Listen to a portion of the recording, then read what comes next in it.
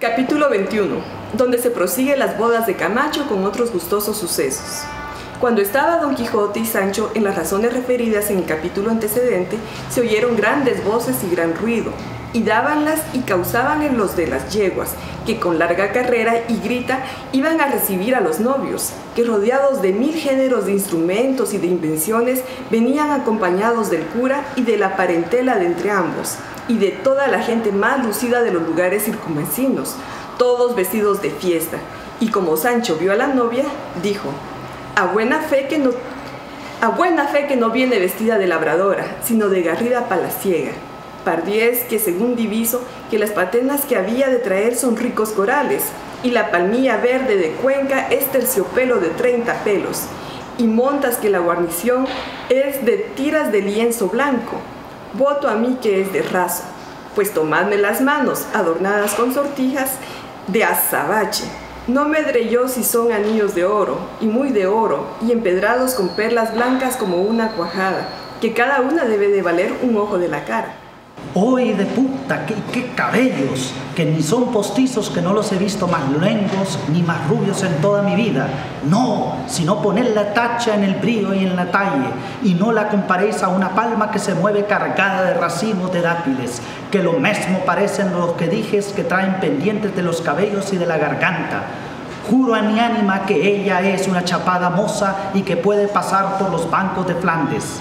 Ríose Don Quijote de las rústicas alabanzas de Sancho Panza. Parecióle que fuera de su señora Dulcinea del Toboso no había visto mujer más hermosa jamás. Venía la hermosa Quiteria, algo descolorida, y debía de ser de la mala noche que siempre pasan las novias en componerse para el día del venidero de sus bodas. Íbanse acercando a un teatro que a un lado del prado estaba, adornando de alfombras y ramos a donde se habían de hacer los desporios y de donde habían de mirar las danzas y las invenciones, y a la sazón que llegaban al puesto. Oyeron a sus espaldas grandes voces, y una decía, esperaos un poco, gente tan inconsiderada pero presurosa. A cuyas voces y palabras todos volvieron la cabeza y vieron que las daba un hombre vestido al parecer de un sayo negro gironado de carmesí a llama. Venía coronado como se vio luego, con una corona de funesto ciprés en las manos traía un bastón grande. En llegando más cerca fue conocido de todos por el gallardo Basilio y todos estuvieron suspensos esperando en que había de parar sus voces y sus palabras, temiendo algún mal suceso de su venida semejante. Llegó en fin cansado y sin aliento y puesto delante de los desposados, hincando el bastón en el suelo que tenía el cuento de una punta de acero mudada a la color, puesto los ojos en quitería con voz tremente y ronca, estas razones dijo. Bien sabes, desconocida Quiteria, que conforme a la santa ley que profesamos, que viviendo yo, tú no puedes tomar esposo. Y juntamente no ignoras que por esperar yo que el tiempo y mi diligencia mejorasen los bienes de mi fortuna, no he querido dejar de guardar el decoro que a la honra convenía. Pero tú, echando las espaldas todas las obligaciones que debes a mi buen deseo, quieres hacer señor de lo que es mío a otro, cuyas riquezas le sirven no solo de buena fortuna, sino de bonísima aventura, y para que la tenga colmada, y no como yo pienso que la merece, sino como se la quieren dar los cielos. Yo, por mis manos, desearé el imposible o el inconveniente que pueda estorbársela, quitándome a mí de por medio. Viva, viva el rico Camacho con la ingrata quitería largos y felices siglos, y muera, muera el pobre Basilo, cuya pobreza cortó las alas de su dicha y le puso en la sepultura. Y diciendo esto, asió del bastón que tenía hincado en el suelo, y quedándose la mitad de él en la tierra, mostró que servía de vaina a un mediano estoque que en él se ocultaba, y puesta la que se podía llamar empuñadura en el suelo, con ligero desenfado y determinado propósito se arrojó sobre él. Y en un punto mostró la punta sangrienta a las espaldas, con la mitad de la cerada cuchilla, quedando el triste bañado en su sangre y teniendo en el suelo de sus mismas armas traspasado. Acudieron luego sus amigos a favorecerle, condolidos de su miseria y lastimosa desgracia, dejando a Don Quijote y a Rocinante, acudió a favorecerle y le tomó en sus brazos y halló que aún no había expirado. Quisieronle sacar el estoque, pero el cura que estaba presente fue de parecer que no se le sacasen antes de confesarle, porque sacársele y el expirar sería todo a un tiempo.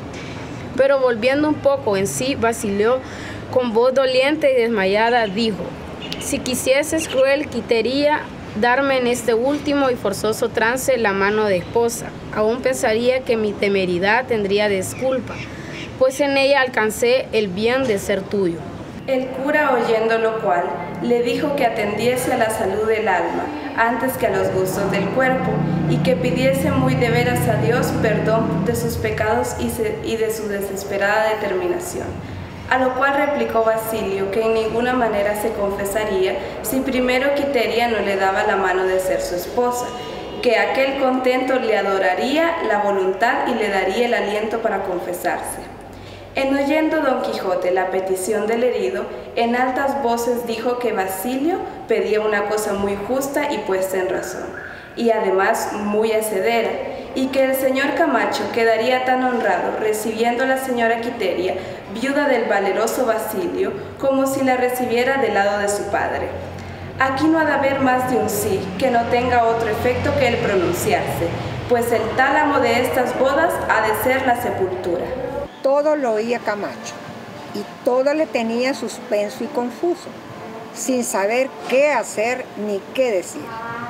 Pero las voces de los amigos de Basilio fueron tantas, pidiéndole que consintiese que Quiteria le diese la mano de esposa, porque su alma no se perdiese, partiendo desesperado de esta vida, que le movieron y aún forzaron a decir que si Quiteria quería dársela, que él se la contentaba, pues todo era dilatar por un momento el cumplimiento de sus deseos.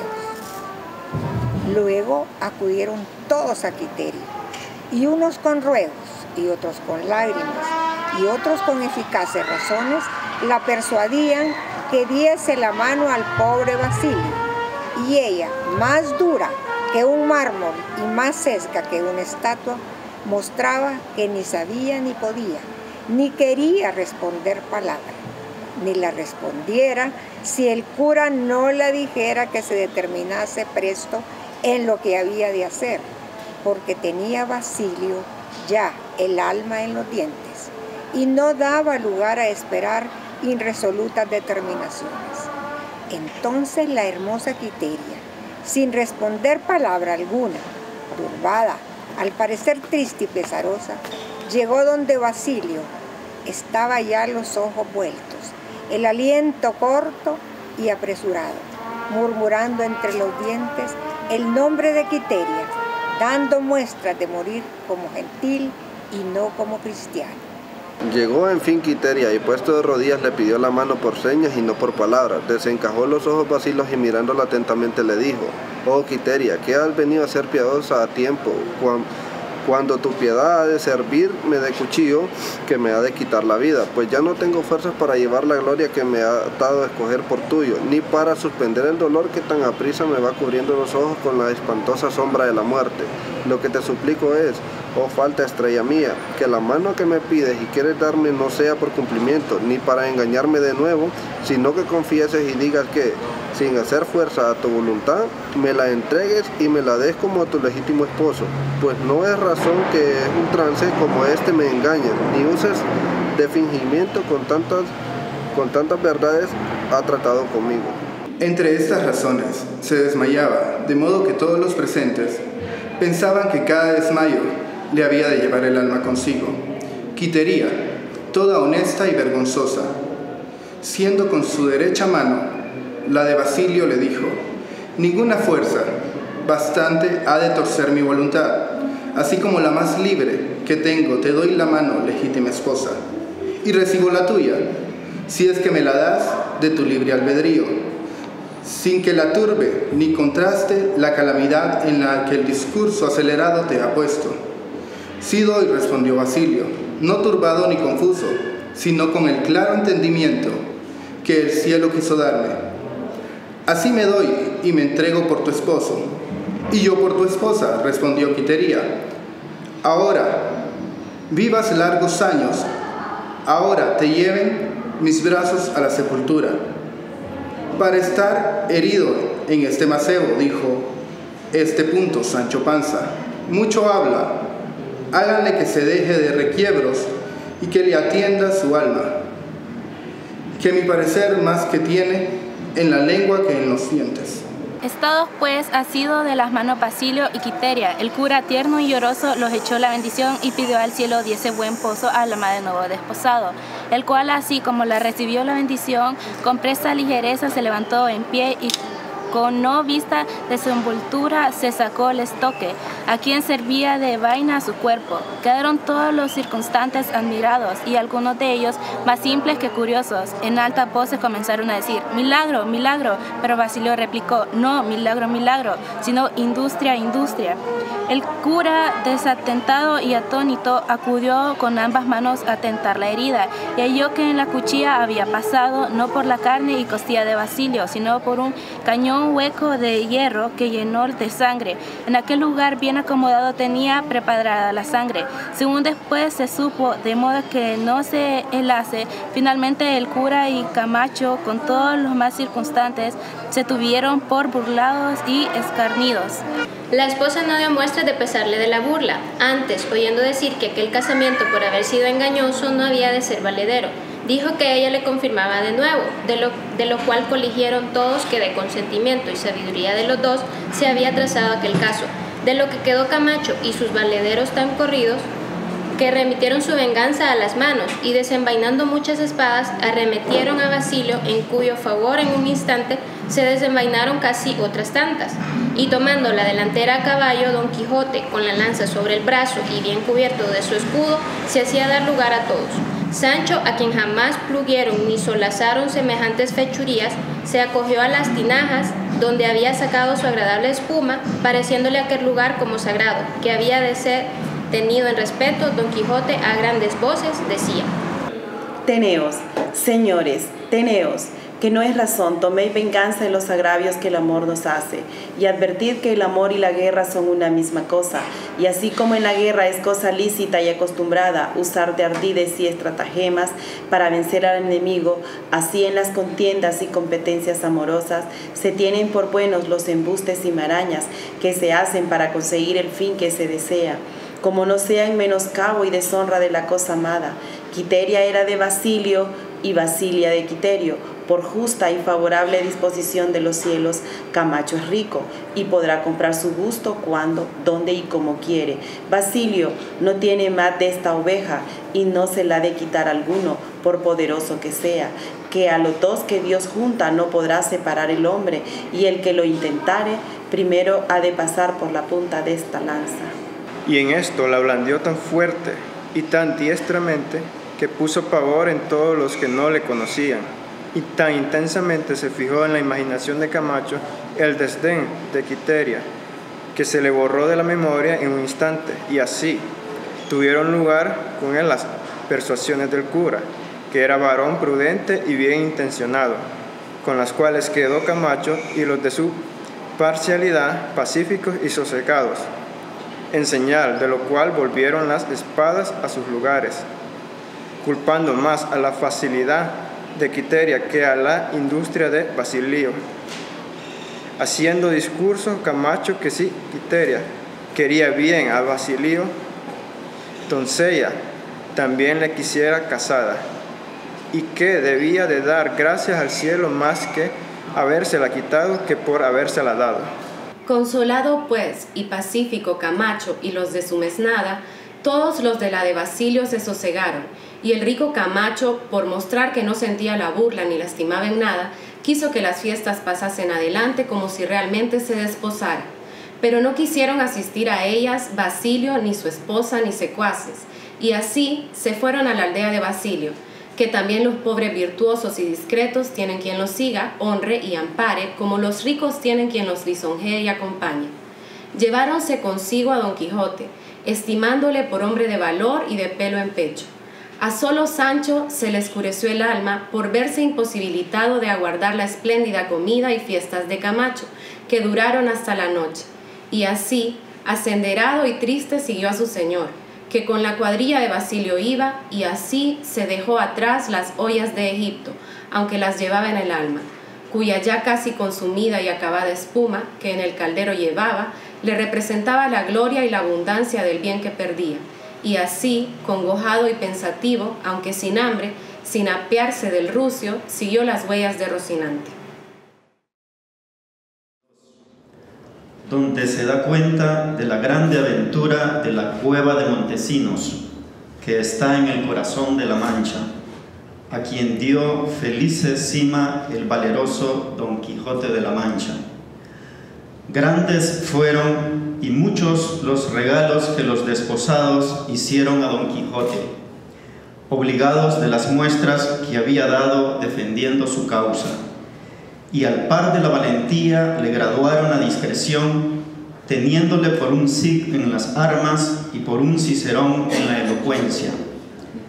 El buen Sancho se refosiló tres días a costa de los novios, de los cuales se supo que no fue traza comunicada con la hermosa quitería el herirse fingidamente, sino industria de Basilio, esperando dela el mismo suceso que se había visto.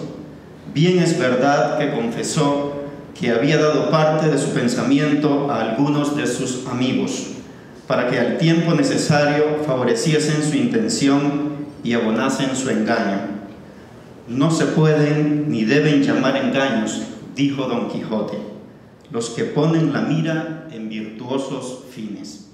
Y que el de casarse los enamorados era el fin de más excelencia, advirtiendo que el mayor contrario que el amor tiene es la hambre y la continua necesidad, porque el amor es toda alegría, regocijo y contento, y más cuando el amante está en posesión de la cosa amada, contra quien son enemigos opuestos y declarados la necesidad y la pobreza y que todo esto decía con intención de que se dejase el señor Basilio de ejercitar las habilidades que sabe, que aunque le daban fama, no le daban dineros, y que atendiese a dejar hacienda por medios lícitos e industriosos, que nunca faltan a los prudentes y aplicados.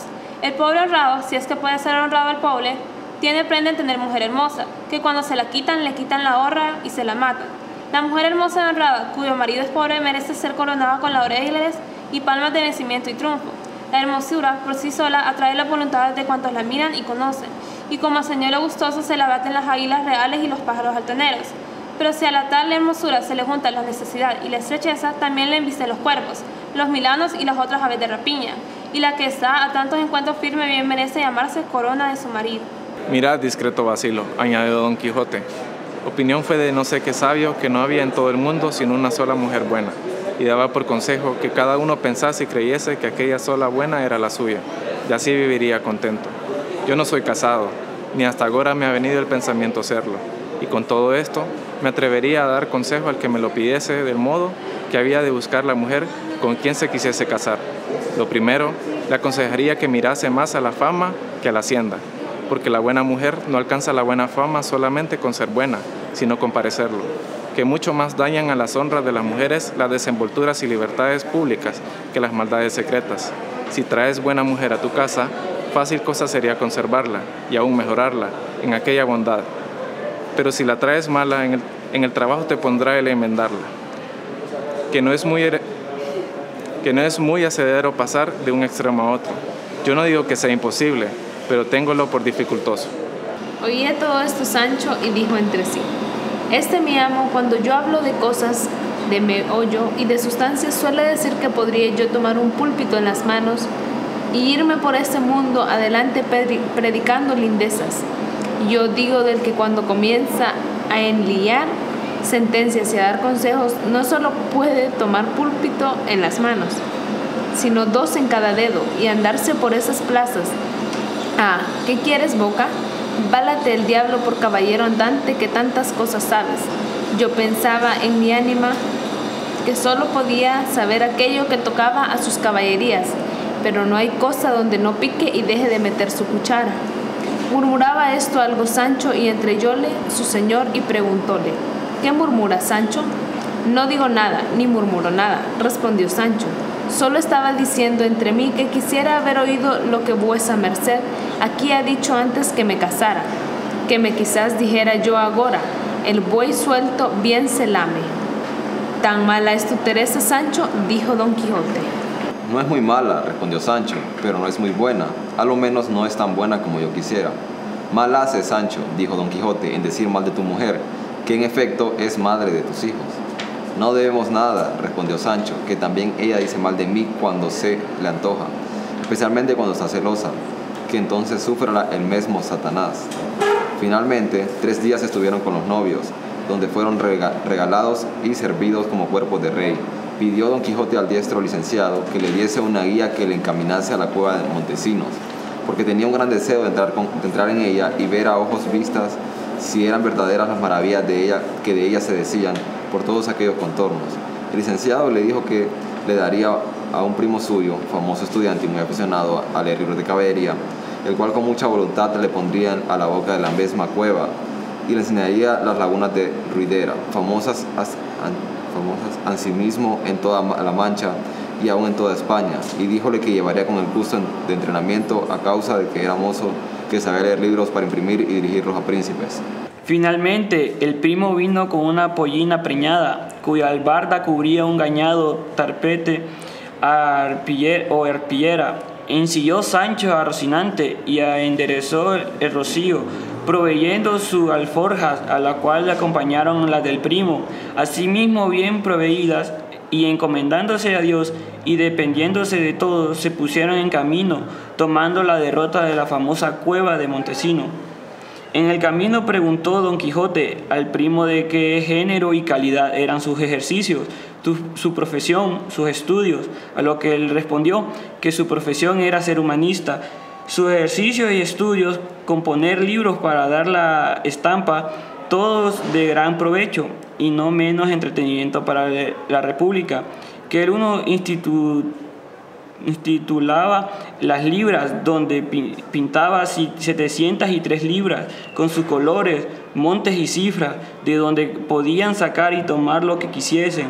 En tiempo de fiesta o regocijo, los caballeros cortesándonos sin andar mendigando de nadie, ni la, lambicando, como dicen, el ser velo, el ser por sacarlas conforme a su deseo e instituciones. Porque doy al celoso, al desdeñado, al olvidado y al ausente las que le convienen, que le vendrán más justas que pecadoras. Otro libro tengo también, a quien he de llamar Metamorfosios, o Ovidio español, de invención nueva y rara, porque en él, imitando a Ovidio a lo burlesco, pinto quién fue Giralda de Sevilla y el ángel de Magdalena ¿Quién el caño de Becinguerra, de Córdoba? ¿Quiénes los toros de Guisando? La Sierra Morena, las fuentes de Leganitos y Lavapiés. En Madrid, no olvidándonos de la del Piojo, de la del Caño Dorado y de la Priora. Y esto, con sus alegorías, metáforas y translaciones, de modo que alegran, suspenden y enseñan a un mismo punto. Otro libro tengo que le llamo Suplemento o Virgilio Pelidoro, que trata de la invención de las cosas, que es de grande erudición y estudio, a causa que las cosas que se dejó de decir Polidoro, de gran sustancia, las averiguo yo y las declaro por gentil estilo. Olvidósele a Virgilio de declararnos quién fue el primero que tuvo catarro en el mundo y el primero que tomó las unciones para curarse del morbo gálico y yo lo declaro al pie de la letra, y lo autorizo con más de 25 autores, porque vea vuesa merced si he trabajado bien y si ha de ser útil el tal libro a todo el mundo. Sancho, que había estado muy atento a la narración del primo, le dijo, dígame señor, así Dios le dé buena manderecha en la impresión de sus libros. Sabría decir que sí sabrá, pues todo lo sabe, quién fue el primero que se rascó en la cabeza que yo para mí tengo que debió de ser nuestro padre Adán. Sí sería, respondió el primero, porque Adán no hay duda sino que tuvo cabeza y cabellos. Y siendo esto así, y siendo el primer hombre del mundo, alguna vez se rascaría. Así lo creo yo, respondió Sancho. Pero dígame ahora, ¿quién fue el primer volteador del mundo? En verdad, hermano, respondió el primero, que no me sabré determinar por ahora hasta que lo estudie. Yo lo estudiaré envolviendo a donde tengo mis libros, y yo satisfaré cuando otra vez nos veamos, que no ha de ser esta la postrera. Pues mire, señor, replicó Sancho, no tome trabajo en esto, que ahora he caído en la cuenta de lo que he preguntado. Sepa que el primer volteador del mundo fue Lucifer, cuando le echaron o arrojaron del cielo, que vino volteando hasta los abismos. Tienes razón, amigo, dijo el primo. Y dijo don Quijote, esa pregunta y respuesta no es tuya, Sancho. ¿Alguno lo has oído decir? Calle, señor, replicó Sancho, que a buena fe que si me doy a preguntar y a responder, que no acabe de aquí a mañana. Sí, que para preguntar necedades y responder disparates no he menester yo andar buscando ayuda de vecinos. Mas has dicho, Sancho, de lo que sabes, dijo don Quijote, que hay algunos que se casan en saber y averiguar cosas que después de sabidas y averiguadas no importa un ardite al entendimiento ni a la memoria. Y entre estas y otras gustosas pláticas se les pasó aquel día, y en la noche se albergaron en una pequeña aldea, donde dijo al primo de Don Quijote que desde ahí a la cueva de Montesinos no había más de dos leguas, y que así llevaban determinado de entrar en ella. Era en monester que eh, proveerse de sogas para atarse y desahogarse en la profundidad. Don Quijote dijo que aunque llegase al abismo, había de don, eh, había ver dónde paraba, y así compraron casi 100 brazas de soga, y otro día a las 2 de la tarde llegaron a la cueva, cuya boca era espaciosa y ancha, pero llena de eh, cambroneras y ranzas y malezas, tan espesas e intrincadas que todo en todo le ciegan y encubre. En, buen momento se apearon el primo, Sancho y Don Quijote, el cual los dos ataron y fue eh, fortísimamente con las sogas. Y en tanto que, que lo señaban, le dijo Sancho, mira vuestra merced, señor mío, que hace que no se quiera sepultar en la vida, ni que se ponga donde parezca frasco que le ponen a enfriar en, en algún pozo. Sí, que a vuestra merced no le toca ni atañe ser el escudriñador de esta, que debe ser peor que mazmorra.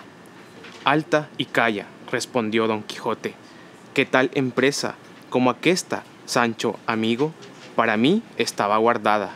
Y entonces dijo la guía, suplico a vuesa merced, señor Don Quijote, que mire bien y especule con cien ojos lo que hay allá adentro. Quizá habrá cosas que las ponga yo en el libro de mis transformaciones.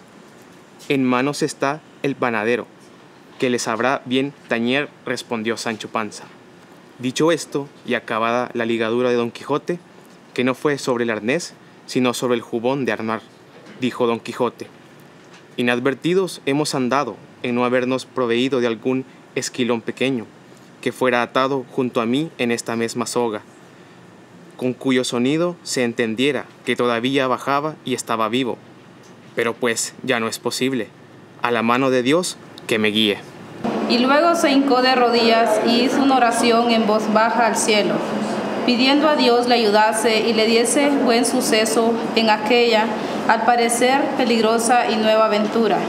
Y en voz alta dijo, Oh Señora de mis acciones y movimientos, clarísima y sin par Dulcinea del Toboso, si es posible que lleguen a tus oídos las plegarias y rogaciones de tu venturoso amante, por tu inaudita belleza te ruego las escuches, que no son otras que rogarte no me niegues tu favor y amparo.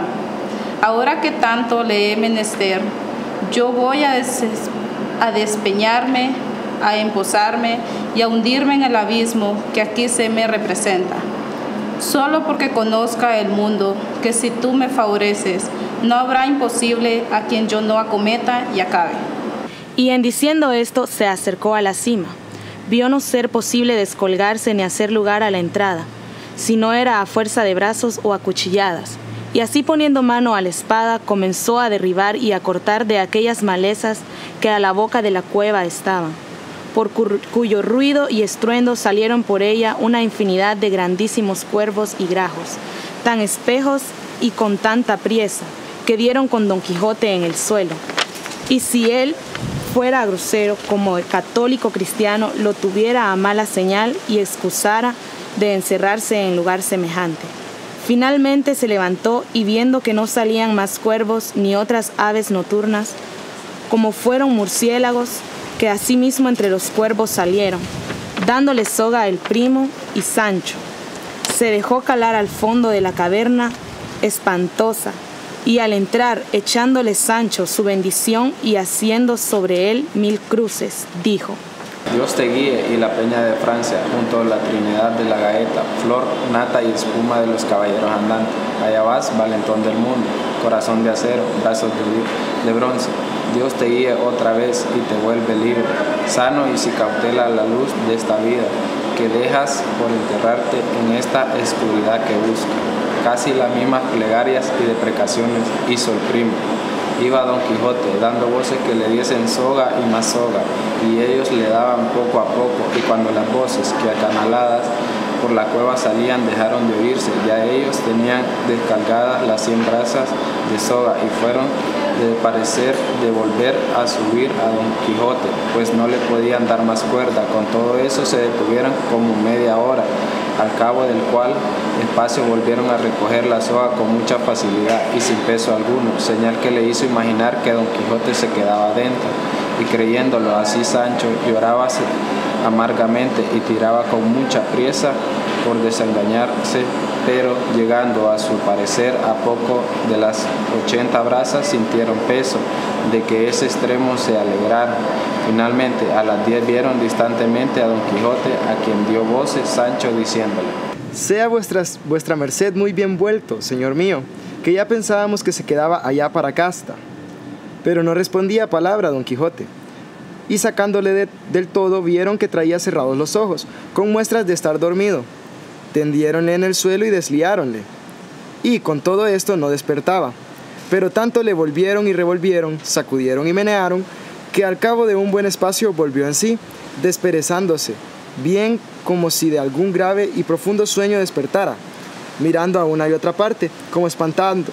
Dijo, Dios os los perdone amigos que me habéis quitado de la más sabrosa y agradable vida, y vista que ningún humano ha visto ni pasado. En efecto, ahora acabo de conocer que todos los contentos de esta vida pasan como sombra y sueño, o se marchitan como la flor del campo, oh desdichado Montesinos, oh malferido Durandarte, oh sin ventura Belerma, oh llorosa Guardiana, y vosotros sin dicha hijas de Ruidera, que mostráis en vuestras aguas las que lloraron vuestros hermosos ojos. Con grande atención escuchaban el primo y Sancho las palabras de Don Quijote, que las decía como si con dolor inmenso las sacara de las entrañas. Suplicáronle les diese a entender lo que decía y les dijese lo que en aquel infierno había visto. Infierno le llamáis, dijo Don Quijote. Pues no le llaméis ansí, porque no lo merece, luego lo veréis. Pidió que le diesen algo de comer que traía grandísima hambre. Tendieron la arpillera del primo sobre la verde hierba, acudieron a la despensa de sus alfojas y sentados todos tres en buen humor y compañía, merendaron y cenaron todo junto. Levantada la arpillera, dijo don Quijote de la Mancha, no se levante nadie, y estadme, hijos, todos atentos. De las admirables cosas que el extremado Don Quijote contó que había visto en la profunda cueva de Montesinos, cuya imposibilidad y grandeza hace que se tenga esta aventura por apócrifa. Las cuatro de la tarde serían cuando el sol, entre nubes cubierto, con luz escasa y templados rayos, dio lugar a Don Quijote para que sin calor y pesadumbre contase a sus dos clarísimos oyentes lo que en la cueva de Montesinos había visto. Y comenzó en el modo siguiente. A obra de 12 o 14 estados de la profundidad de esta, de esta mazmorra, a la derecha mano, se hace una concavidad y espacio capaz de poder caber en ella un gran carro con sus mulas. Éntrale una pequeña luz por unos resquicios o agujeros que lejos le responden, abiertos en la superficie de la tierra. Esta concavidad y espacio vi yo a tiempo cuando yo ya iba cansado y mohino de verme, pendiente y colgado de la soga, caminar por aquella escura región abajo, sin llevar cierto ni determinado camino. Y así determiné entrarme en ella y descansar un poco. Fui recogiendo la soga que enviábades y haciendo de ella una rosca o rimero, me senté sobre él pensativo además, considerando lo que hacer debía para calar al fondo, no teniendo quien me sustentase y estando en este pensamiento y confusión. De repente y sin procurarlo, me salteó un sueño profundísimo, y cuando menos lo pensaba, sin saber cómo ni cómo no, desperté de él y me hallé en la mitad del más bello, ameno y deleitoso prado que puede criar la naturaleza, ni imaginar la más discreta imaginación humana. Despabilé los ojos, limpiémelos y vi que no dormía, sino que realmente estaba despierto. Con todo esto, me tenté la cabeza y los pechos por certificarme si era yo mismo el que allí estaba o alguna fantasma vana y contrahecha. Pero el tacto, el sentimiento, los discursos concertados que entre mí hacía, me certificaron que yo era allí entonces el que soy aquí ahora. Ofréceme luego a la vista un real y suntuoso palacio o alcázar, cuyos muros, paredes parecían de transparente y claro cristal fabricados, del cual abriéndose dos puertas vi que por ella salía y hacia mí se venía un venerable anciano, vestido con un capuz de bayeta morada, que por el suelo le arrastraba. Señalé los hombros y los pechos con una boca colegial de raso verde, cubrirle la cabeza una gorra milésima negra y la barba canisma le pasaba de la cintura. No traía arma ninguna, sino un rosario de cuentas en la mano, mayores que medianas nueces, y los dieces así mismo como huevos medianos de avestruz. El continente, el paso, la gravedad y la anchísima presencia de cada cosa de por sí y todas juntas me suspendieron y admiraron. Llegóse a mí y lo primero que hizo fue abrazarme estrechamente. Luego decirme, luengos tiempos, a valeroso caballero Don Quijote de la Mancha, que los que estamos en estas soledades encantados esperamos verte, para que des noticias al mundo de lo que encierra y cubre la, la profunda presencia por donde has entrado, llamada la cueva de Montesinos, hazaña solo guardada para ser acometida, increíble corazón de tu ánimo estupendo. Ven conmigo, Señor, clarísimo que te quiero mostrar las maravillas que ese transparente Alcázar Tolapa, de quien soy el alcaide y guarda mayor perpetuo, porque soy el mismo Montesinos, de quien la cueva toma nombre. Apenas me dijo que era Montesinos cuando le pregunté si fue verdad todo lo que en el mundo de aquí arriba se contaba, que él había sacado la mitad del pecho con una pequeña daga, el corazón de su grande amigo Durandarte, y llevádole a la señora Valerma con él se mandó al punto de su muerte. Respondióme que en todo decían verdad, sino, que, sino en la daga, porque no fue daga, ni pequeña, sino un puñal buido, más agudo que una lesna. Debía ser, dijo este punto Sancho, en tal puñal de Ramón de Oces, el sevillano. No sé, prosiguió Don Quijote, pero no sería de ese puñalero, porque don Ramón de Oces fue ayer, y de lo de Roses Valles donde aconteció esta desgracia hace muchos años y esta averiguación no es de importancia, ni turba, ni altera la verdad y contexto de la historia. Así es, respondió el primo. Prosiga vuestra merced, señor Don Quijote, que le escucho con el mayor gusto del mundo. No con el menor le cuento yo, respondió Don Quijote. Y así digo que el venerable Montesino me metió en el cristalino palacio donde en una sala baja, fresquísima, sobre modo y toda de alabastro, estaba, en el, estaba un sepulcro de mármol, con una gran maestría fabricado, sobre el cual vi un caballero tendido de largo a largo, no de bronce, ni de mármol, ni de jaspe hecho, como lo suele haber en otros sepulcros, sino de pura carne y de puro hueso, Tenía la mano derecha, que a mi parecer es algo peluda y nervosa, señal de tener muchas fuerzas su dueño, puesta sobre el lado del corazón, y antes de que preguntase nada a Montesinos, viéndome suspenso mirando al del sepulcro, me dijo, este es mi amigo, Durandarte, flor y espejo de los caballeros enamorados y valientes de su tiempo. Tiénele aquí encantado, como me tiene a mí y a otros muchos y muchas. Merlín, aquel francés encantador que dicen que fue hijo del diablo, y lo que yo creo es que no fue hijo del diablo, sino que supo, como dicen, un punto más que el diablo. El cómo o para qué nos encantó, nadie lo sabe, y ello dirá andando los tiempos, que no están muy lejos, según imagino. Lo que a mí me admira es que sé, tan cierto como ahora es de día, que Durandarte acabó los de su vida en mis brazos, y que después de muerto le saqué el corazón con mis propias manos. Y en verdad que debía de pesar dos libras, porque según los naturales, el que tiene mayor corazón es dotado de mayor valentía del que lo tiene pequeño. Pues siendo esto así, y que realmente murió este caballero, como ahora se queja y suspira de cuando en cuando, como si estuviese vivo. Esto dicho el misero Durandarte, dando una gran voz, dijo, Oh, mi primo Montesinos, lo postrero que os rogaba, que cuando yo muere, muerto, y mi animada arrancada, que llevéis mi corazón a donde Belermar estaba, sacándole del pecho ya con un puñal, ya con daga. Oyendo lo cual el venerable Montesinos se puso de rodillas ante el lastimado caballero y, con lágrimas en los ojos, le dijo, ya señor Durandarte, carísimo primo mío, ya hice lo que me mandaste en el asiago día de nuestra pérdida. Yo saqué el corazón lo mejor que pude, sin que os dejase una mínima parte en el pecho. Yo le limpié con un pañizuelo de puntas.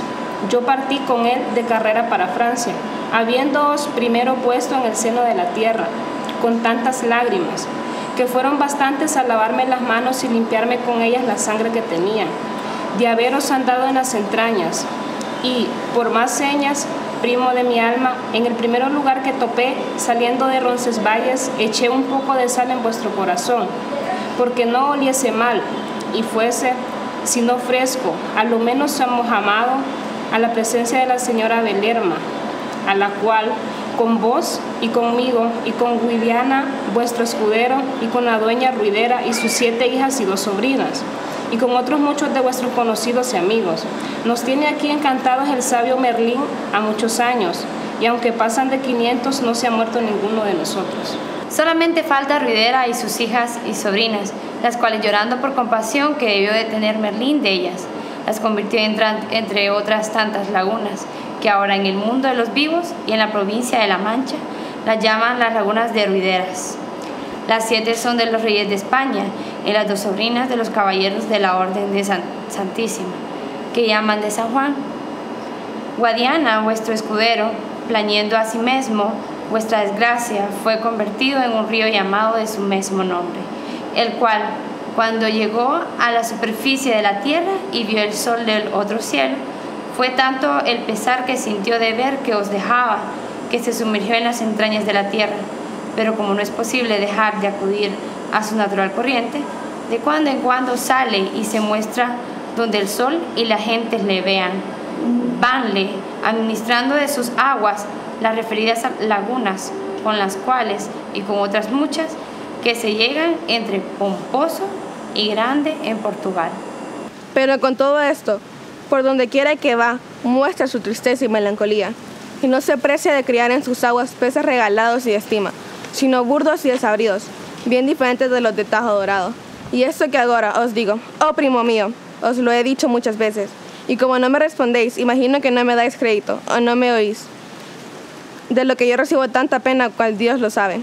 Unas nuevas os quiero dar, las cuales, ya que no servirán de alivio a vuestro dolor, no os le aumentarán en ninguna manera, Sabéis que tenéis aquí en vuestra presencia. Abrid los ojos y veréislo. Aquel gran caballero de quien tantas cosas tienes profetizadas el sabio Merlín. Aquel Don Quijote de la Mancha, digo, que de nuevo con mayores ventajas en que los pasados siglos ha resucitado en los presentes la ya olvidada andante caballería, por cuyo medio y favor podría ser nuestros fuésemos desencantados. Que las grandes hazañas para los grandes hombres están guardadas Y cuando sí sea, respondió el lastimado Durandarte con voz desmayada y baja. Y cuando si no sea, oh primo, digo paciencia y barajar. Y volviéndose de lado, tornó a su acostumbrado silencio, sin hablar más palabra. Oyéronse en esto grandes alaridos y llantos, acompañados de profundos gemidos y angustiados sollozos. Volví la cabeza y vi por las paredes de cristal que por otra sala pasaba una procesión de dos hileras de hermosísimas doncellas, todas vestidas de luto, con turbantes blancos sobre las cabezas, al modo turquesco. Al cabo y fin de las hileras venía una señora, que con la gravedad lo parecía, asimismo vestida de negro, con tocas blancas tan tendidas y largas que besaban la tierra. Su turbante era mayor dos veces que el mayor de alguna de las otras. Era cejijunta y la nariz algo chata, la boca grande, pero colorados los labios. Los dientes, que tal vez los descubría, mostraban cerrados y no bien puestos, aunque eran blancos como unas peladas almendras. Traía en las manos un lienzo delgado y entre él, a lo que pude divisar, un corazón de carne momia, según venía seco y amojamado. Díjome Montesinos, como toda aquella gente de la procesión, eran sirvientes de Durandarte y de Belerma, que allí con sus dos señores estaban encantados, y que la última, que traía el corazón entre el lienzo y en las manos, era la señora Belerma, la cual con sus doncellas cuatro días en la semana hacían aquella procesión y cantaban, o por mejor decir, lloraban en decha sobre el cuerpo y sobre el lastimado corazón de su primo, y que si me había parecido algo fea o no hermosa como tenía la fama, era la causa las malas noches y peores días que en aquel encantamiento pasaba, como lo podía ver en sus grandes orejas, ojeras y en su color crevadiza, y no toma ocasión su amarillez y sus ojeras de estar con el mal mensil, ordinario en las mujeres, porque ha muchos meses y, y aún años que no le tiene asoma por sus puertas, sino del dolor que siente su corazón, por el que de continuo tiene las manos, que le renueva y trae la memoria de la desgracia de su mal logrado amante, que si esto no fuera, apenas la igualara en hermosura, donaire y brío, la gran Dulcinea del Toboso, tan celebrada en todos estos contornos y aún en todo el mundo. Sepos quedos, dije yo entonces, Señor don Montesinos, cuente vuestra merced su historia como debe, que ya sabe que toda comparación es odiosa, y así no hay para qué comparar a nadie con nadie. La sin par Dulcinea del Toboso es quien es. La señora Doña Belerma es quien es y quien ha sido y quédese aquí. A lo que él me respondió, Señor Don Quijote, perdóname vuesa merced, que yo confieso que anduve mal y no dije bien en decir que apenas igualara a la señora Dulcinea a la señora Belerma, pues me bastaba a mí haber entendido por qué no sé barruntos que vuesa merced es su caballero, para que me mordiera la lengua antes de compararla, sino con el mismo cielo. Con esta satisfacción que me dio el gran Montesino, se quietó mi corazón del sobresalto que recibí en oír que a mi señora la comparaban con Belerma. Y aún me maravillo yo, dijo Sancho, de cómo vuestra merced no se subió sobre el Quijote y le mordió a, a coces todos los huesos y le peló las barbas sin dejarle pelo en ella. No, Sancho amigo, respondió don Quijote, no me estaba a mi bien hacer eso, porque estamos todos obligados a tener respeto a los ancianos, aunque no sean caballeros, y principalmente a los que lo son y están encantados. Yo sé bien que no nos quedamos a deber nada en otras, en otras muchas demandas y respuestas que entre los dos pasamos. A esa sazón dijo el primo, yo no sé, señor Don Quijote, como vuestra merced en tan poco espacio de tiempo como está, como está allá abajo, haya visto tantas cosas y hablando y respondido tanto. ¿Cuánto a que bajé? preguntó Don Quijote. Poco más de una hora, respondió Sancho. Eso no puede ser, replicó Don Quijote, porque allá me anocheció y amaneció, y tornó a anochecer y amanecer tres veces, de modo que, a mi cuenta, Tres días he estado en aquellas partes remotas y escondidas a la vista nuestra. Verdad debe de decir, mi señor, dijo Sancho, que como todas las cosas que le han sucedido son por encantamiento, quizá por lo que a nosotros nos parece una hora, debe de parecer allá tres, tres días con sus noches. Así será, respondió don Quijote. ¿Y ha comido vuestra merced en todo este tiempo, señor mío? preguntó el primo. No me he desayunado de bocado, respondió don Quijote, ni aún he tenido hambre, ni por pensamiento. ¿Y los encantados comen? dijo el primo. No comen, respondió don Quijote, ni tienen excrementos mayores, aunque es opinión que les crecen las uñas, las barbas y los cabellos. ¿Y duermen por ventura los encantados, señor?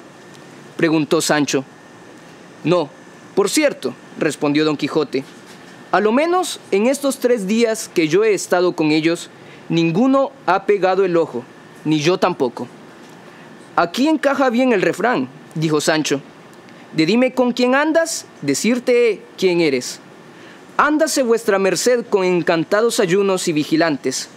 Mirad si es mucho que ni coma ni duerma mientras con ellos anduviere. Pero perdóneme vuestra merced, señor mío, si le digo que de todo cuanto aquí ha dicho, lléveme Dios, ¿qué iba a decir el diablo? Si le creo, cosa alguna. ¿Cómo no? Dijo el primo. Pues había de mentir el señor Don Quijote, que aunque quisiera, no ha tenido lugar para componer e imaginar tanto millón de mentiras. Yo, yo no creo que mi señor miente, respondió Sancho. Sino, ¿qué crees? le preguntó Don Quijote.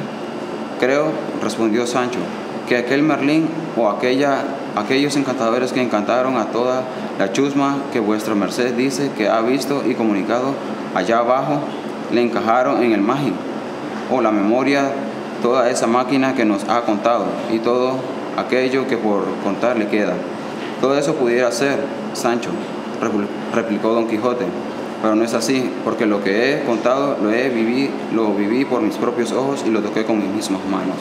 Pero, ¿qué dirás cuando te diga yo ahora cómo, entre otras infinitas cosas y maravillas que me mostró Montesinos, las cuales despacio y a sus tiempos te las iré contando por el discurso de nuestro viaje, por no ser todas de este lugar?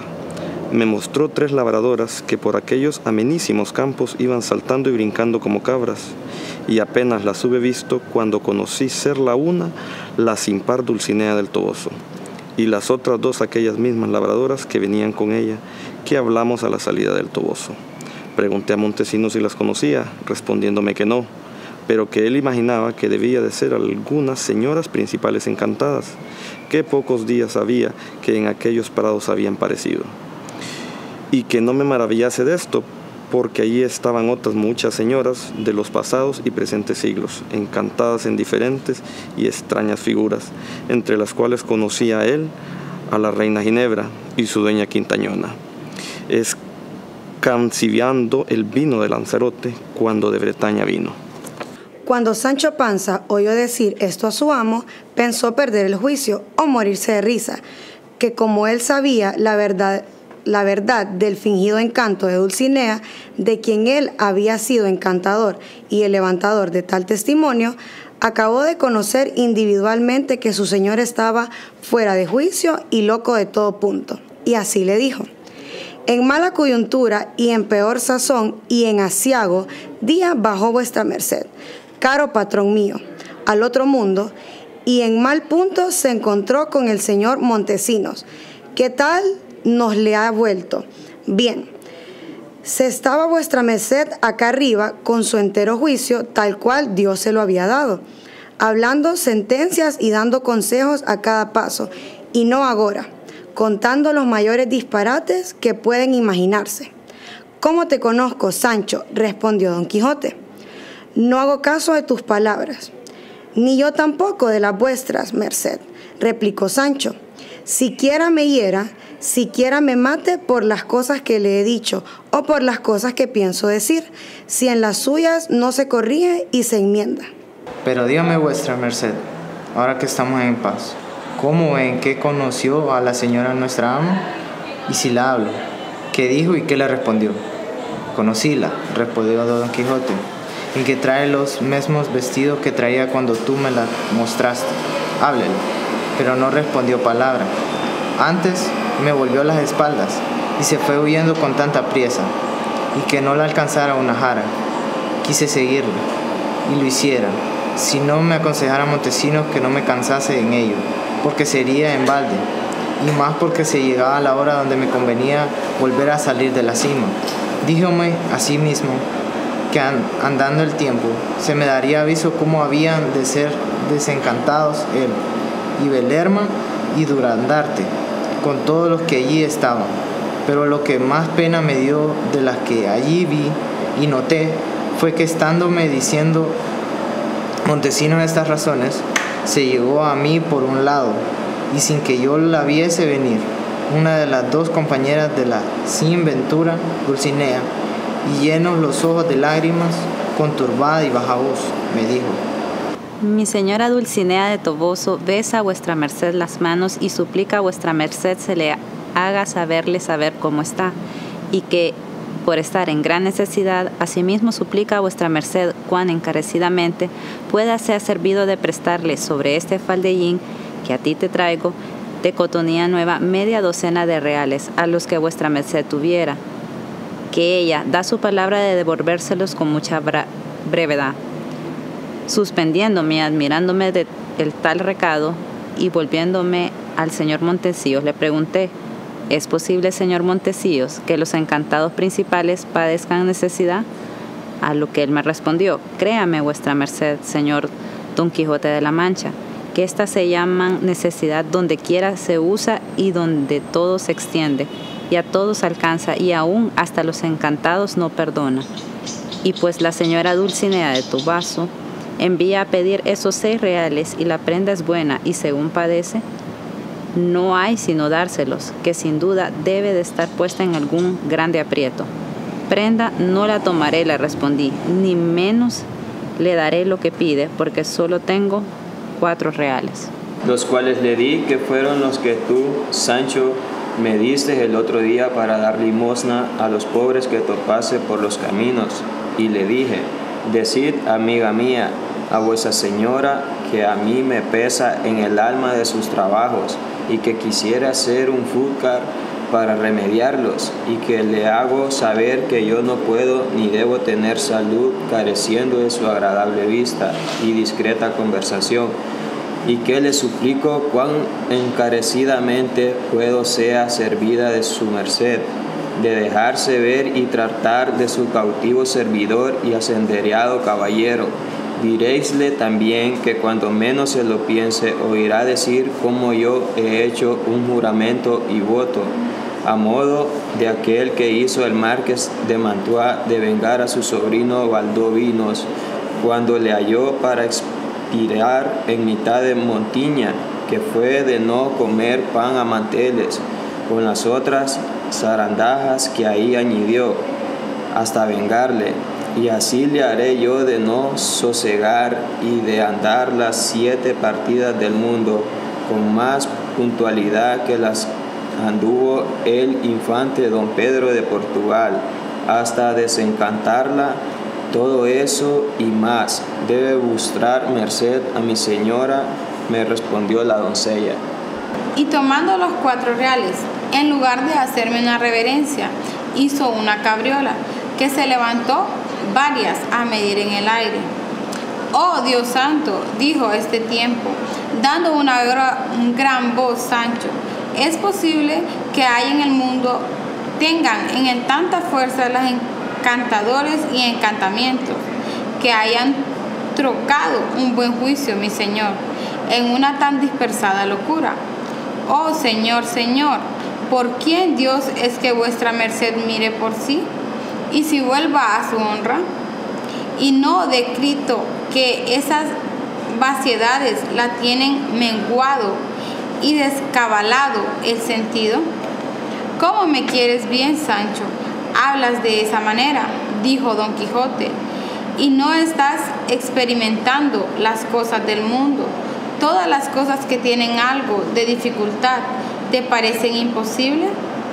Pero andará el tiempo otra vez, he dicho, y yo te contaré algunas de las que ella abajo ha visto, que ya harán crecer aquí al contado, cuya verdad admite réplica ni disputa. Capítulo 24, donde se cuentan mil zarandajas tan impertinentes como necesarias al verdadero entendimiento de esta gran historia.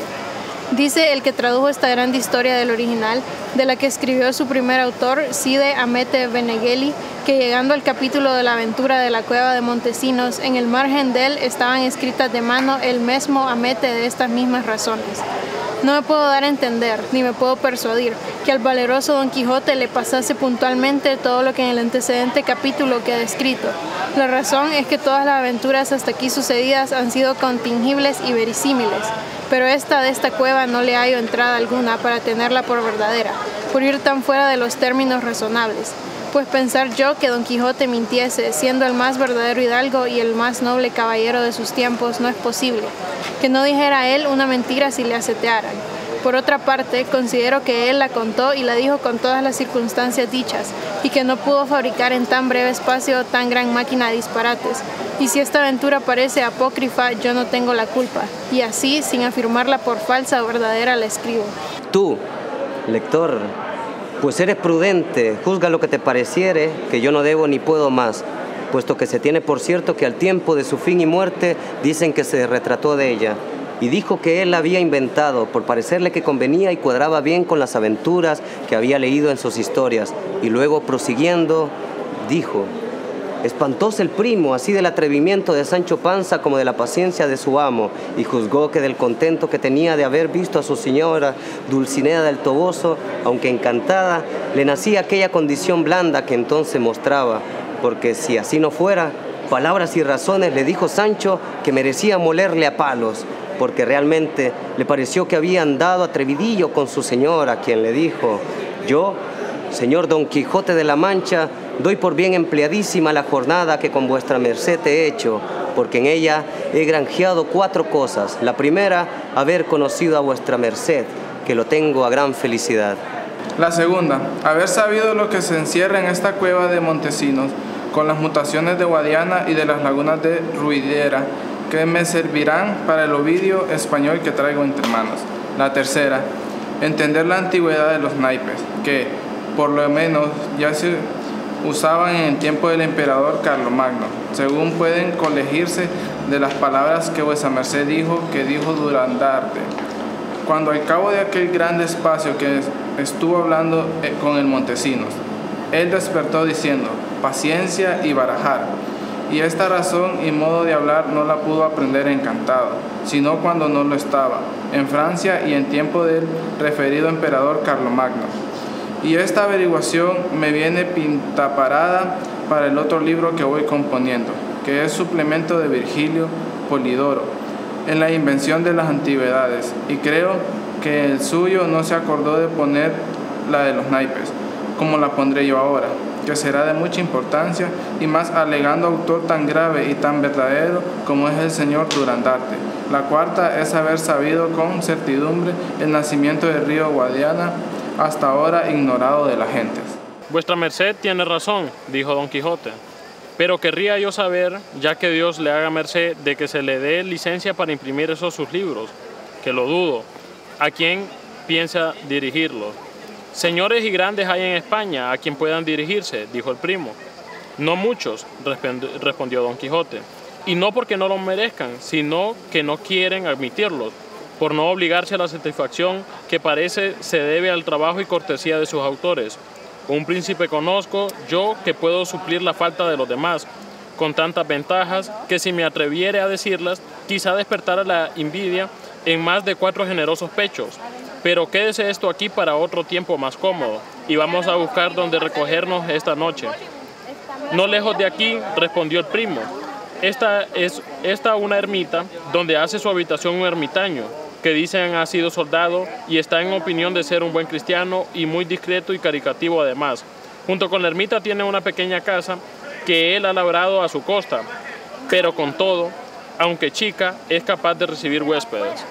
¿Tiene por ventura gallinas el tal ermitaño? preguntó Sancho. Pocos ermitaños están sin ellas, respondió Don Quijote, porque no son los que ahora se usan como aquellos de los desiertos de Egipto, que se vestían de hojas de palma y comían raíces de la tierra. Y no se entienda que por decir de aquellos no lo digo de aquestos, sino que quiero decir que al rigor y estrecha de entonces no llegan las penitencias de los de agora. Pero no por esto dejan de ser todos buenos. A lo menos yo por bueno los juzgo. Y cuando todo corra turbio, menos mal hace el hipócrita que se finge bueno que el público pecador. Estando en esto, vieron que hacia donde ellos estaban venía un hombre a pie, caminando a priesa y dando varazos a un macho que venía cargado de lanzas y de alabardas. Cuando llegó a ellos, los saludó y pasó de largo. Don Quijote le dijo, Buen hombre, deteneos, que parece que vais con más diligencia que ese macho a menester. No me puedo detener, señor, respondió el hombre, porque las armas que veis que aquí llevo han de servir mañana, y así me es forzoso el no detenerme, y adiós. Pero si quisierais saber por qué las llevo, en la venta que está más arriba de la ermita pienso alojar esta noche. Y si es que hacéis este mismo camino, allí me hallaréis, donde os contaré maravillas. Y adiós otra vez. Y de tal manera aguijó el macho, que no tuvo lugar don Quijote preguntarle qué maravillas eran las que pensaba decirles. Y como él era algo curioso y siempre le fatigaban deseos de saber cosas nuevas, ordenó que al momento se partiesen y fuesen a pasar la noche en la venta, sin tocar en la ermita, donde quisiera el primo que se, que se quedaran. Hízose así, Subieron a caballo y siguieron todos tres el derecho camino de la venta, a la cual llegaron un poco antes de anochecer. Dijo el primo Don Quijote que llegasen a la ermita a beber un trago. Apenas oyó eso Sancho Panza, cuando encaminó el rucio a ella y lo mismo hicieron Don Quijote y el primo.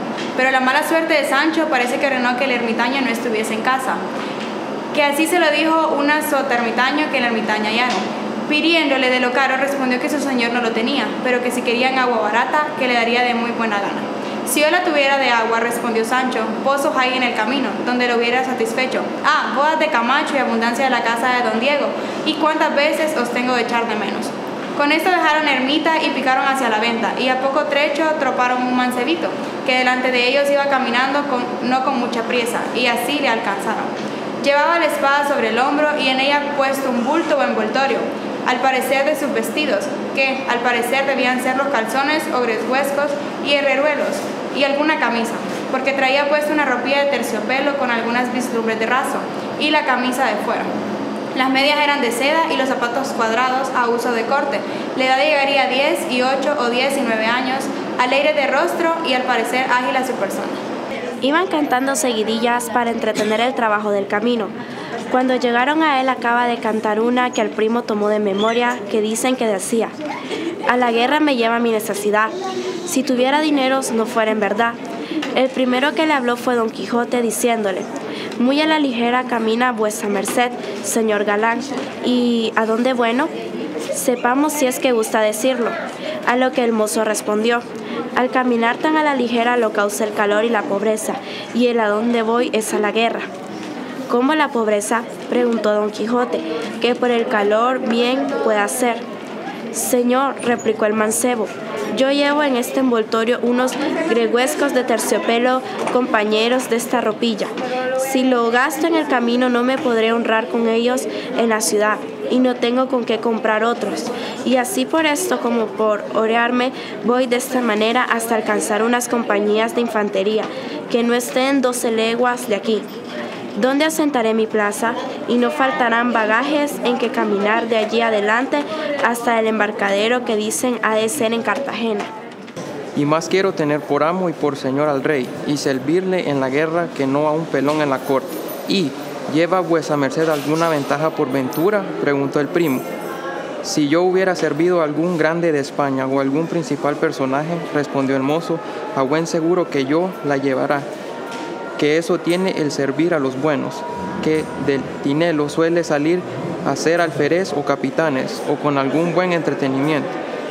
Pero yo, desventurado, serví siempre a catarriberas y a gente advenediza, de ración y quitación, tan, tan mísera y atenuada, que en pagar el almidonar un cuello se consumía la mitad de ella, y sería tenido a milagro que un paje aventurero alcanzase alguna siquiera razonable aventura.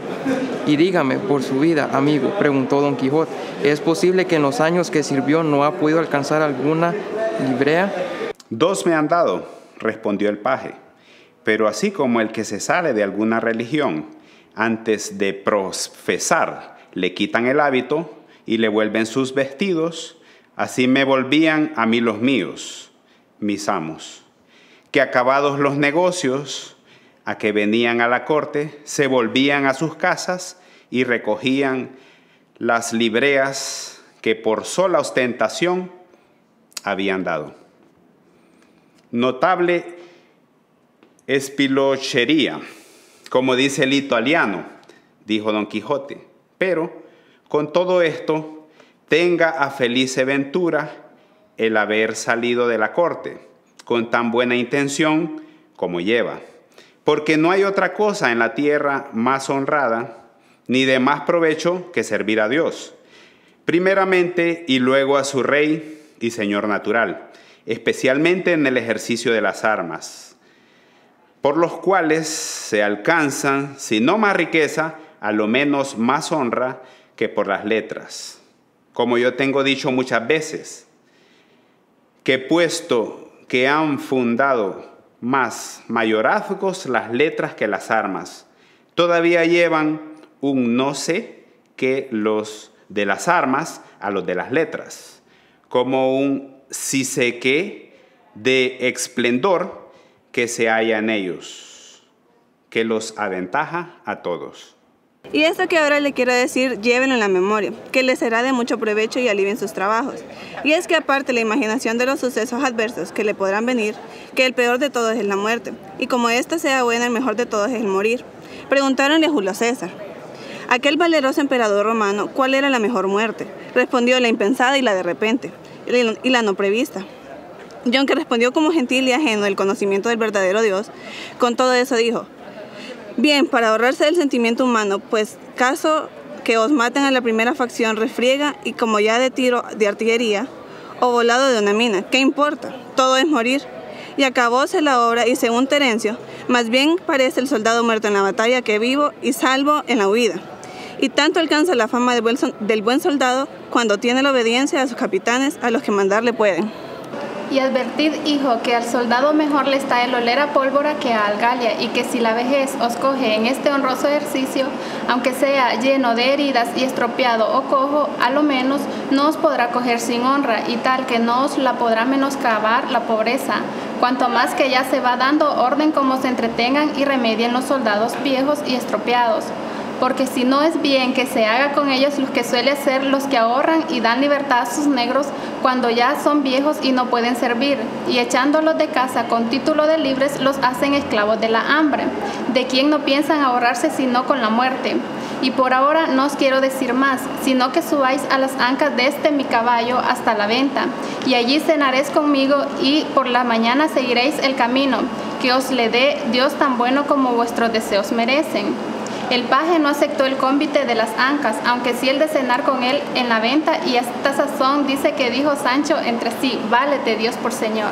Y es posible que hombre que sabe decir tales, tantas y tantas cosas como aquí ha dicho, diga que ha visto los disparates imposibles que cuenta de la cueva de Montesinos? Ahora bien, ello dirá, y en esto llegaron a la venta a tiempo que anochecía, y no sin gusto de Sancho, por ver que su señor la juzgó por verdadera venta y no por castillo, como solía. No hubieron bien entrado cuando don Quijote preguntó al ventero por el hombre de las lanzas y alabardas, el cual le respondió que en la caballeriza estaba acomodando el macho. Lo, lo mismo hicieron de sus jumentos el primo y Sancho, dando a Rociante el mejor pesebre y el mejor lugar de la caballeriza. Capítulo 25, donde se apunta la aventura de Rebuzno y la graciosa del titerero, con las memorables adivinanzas del mono adivino. No se le conocía el pan a Don Quijote, como suele decirse, hasta oír y saber las maravillas prometidas del hombre conductor de las almas.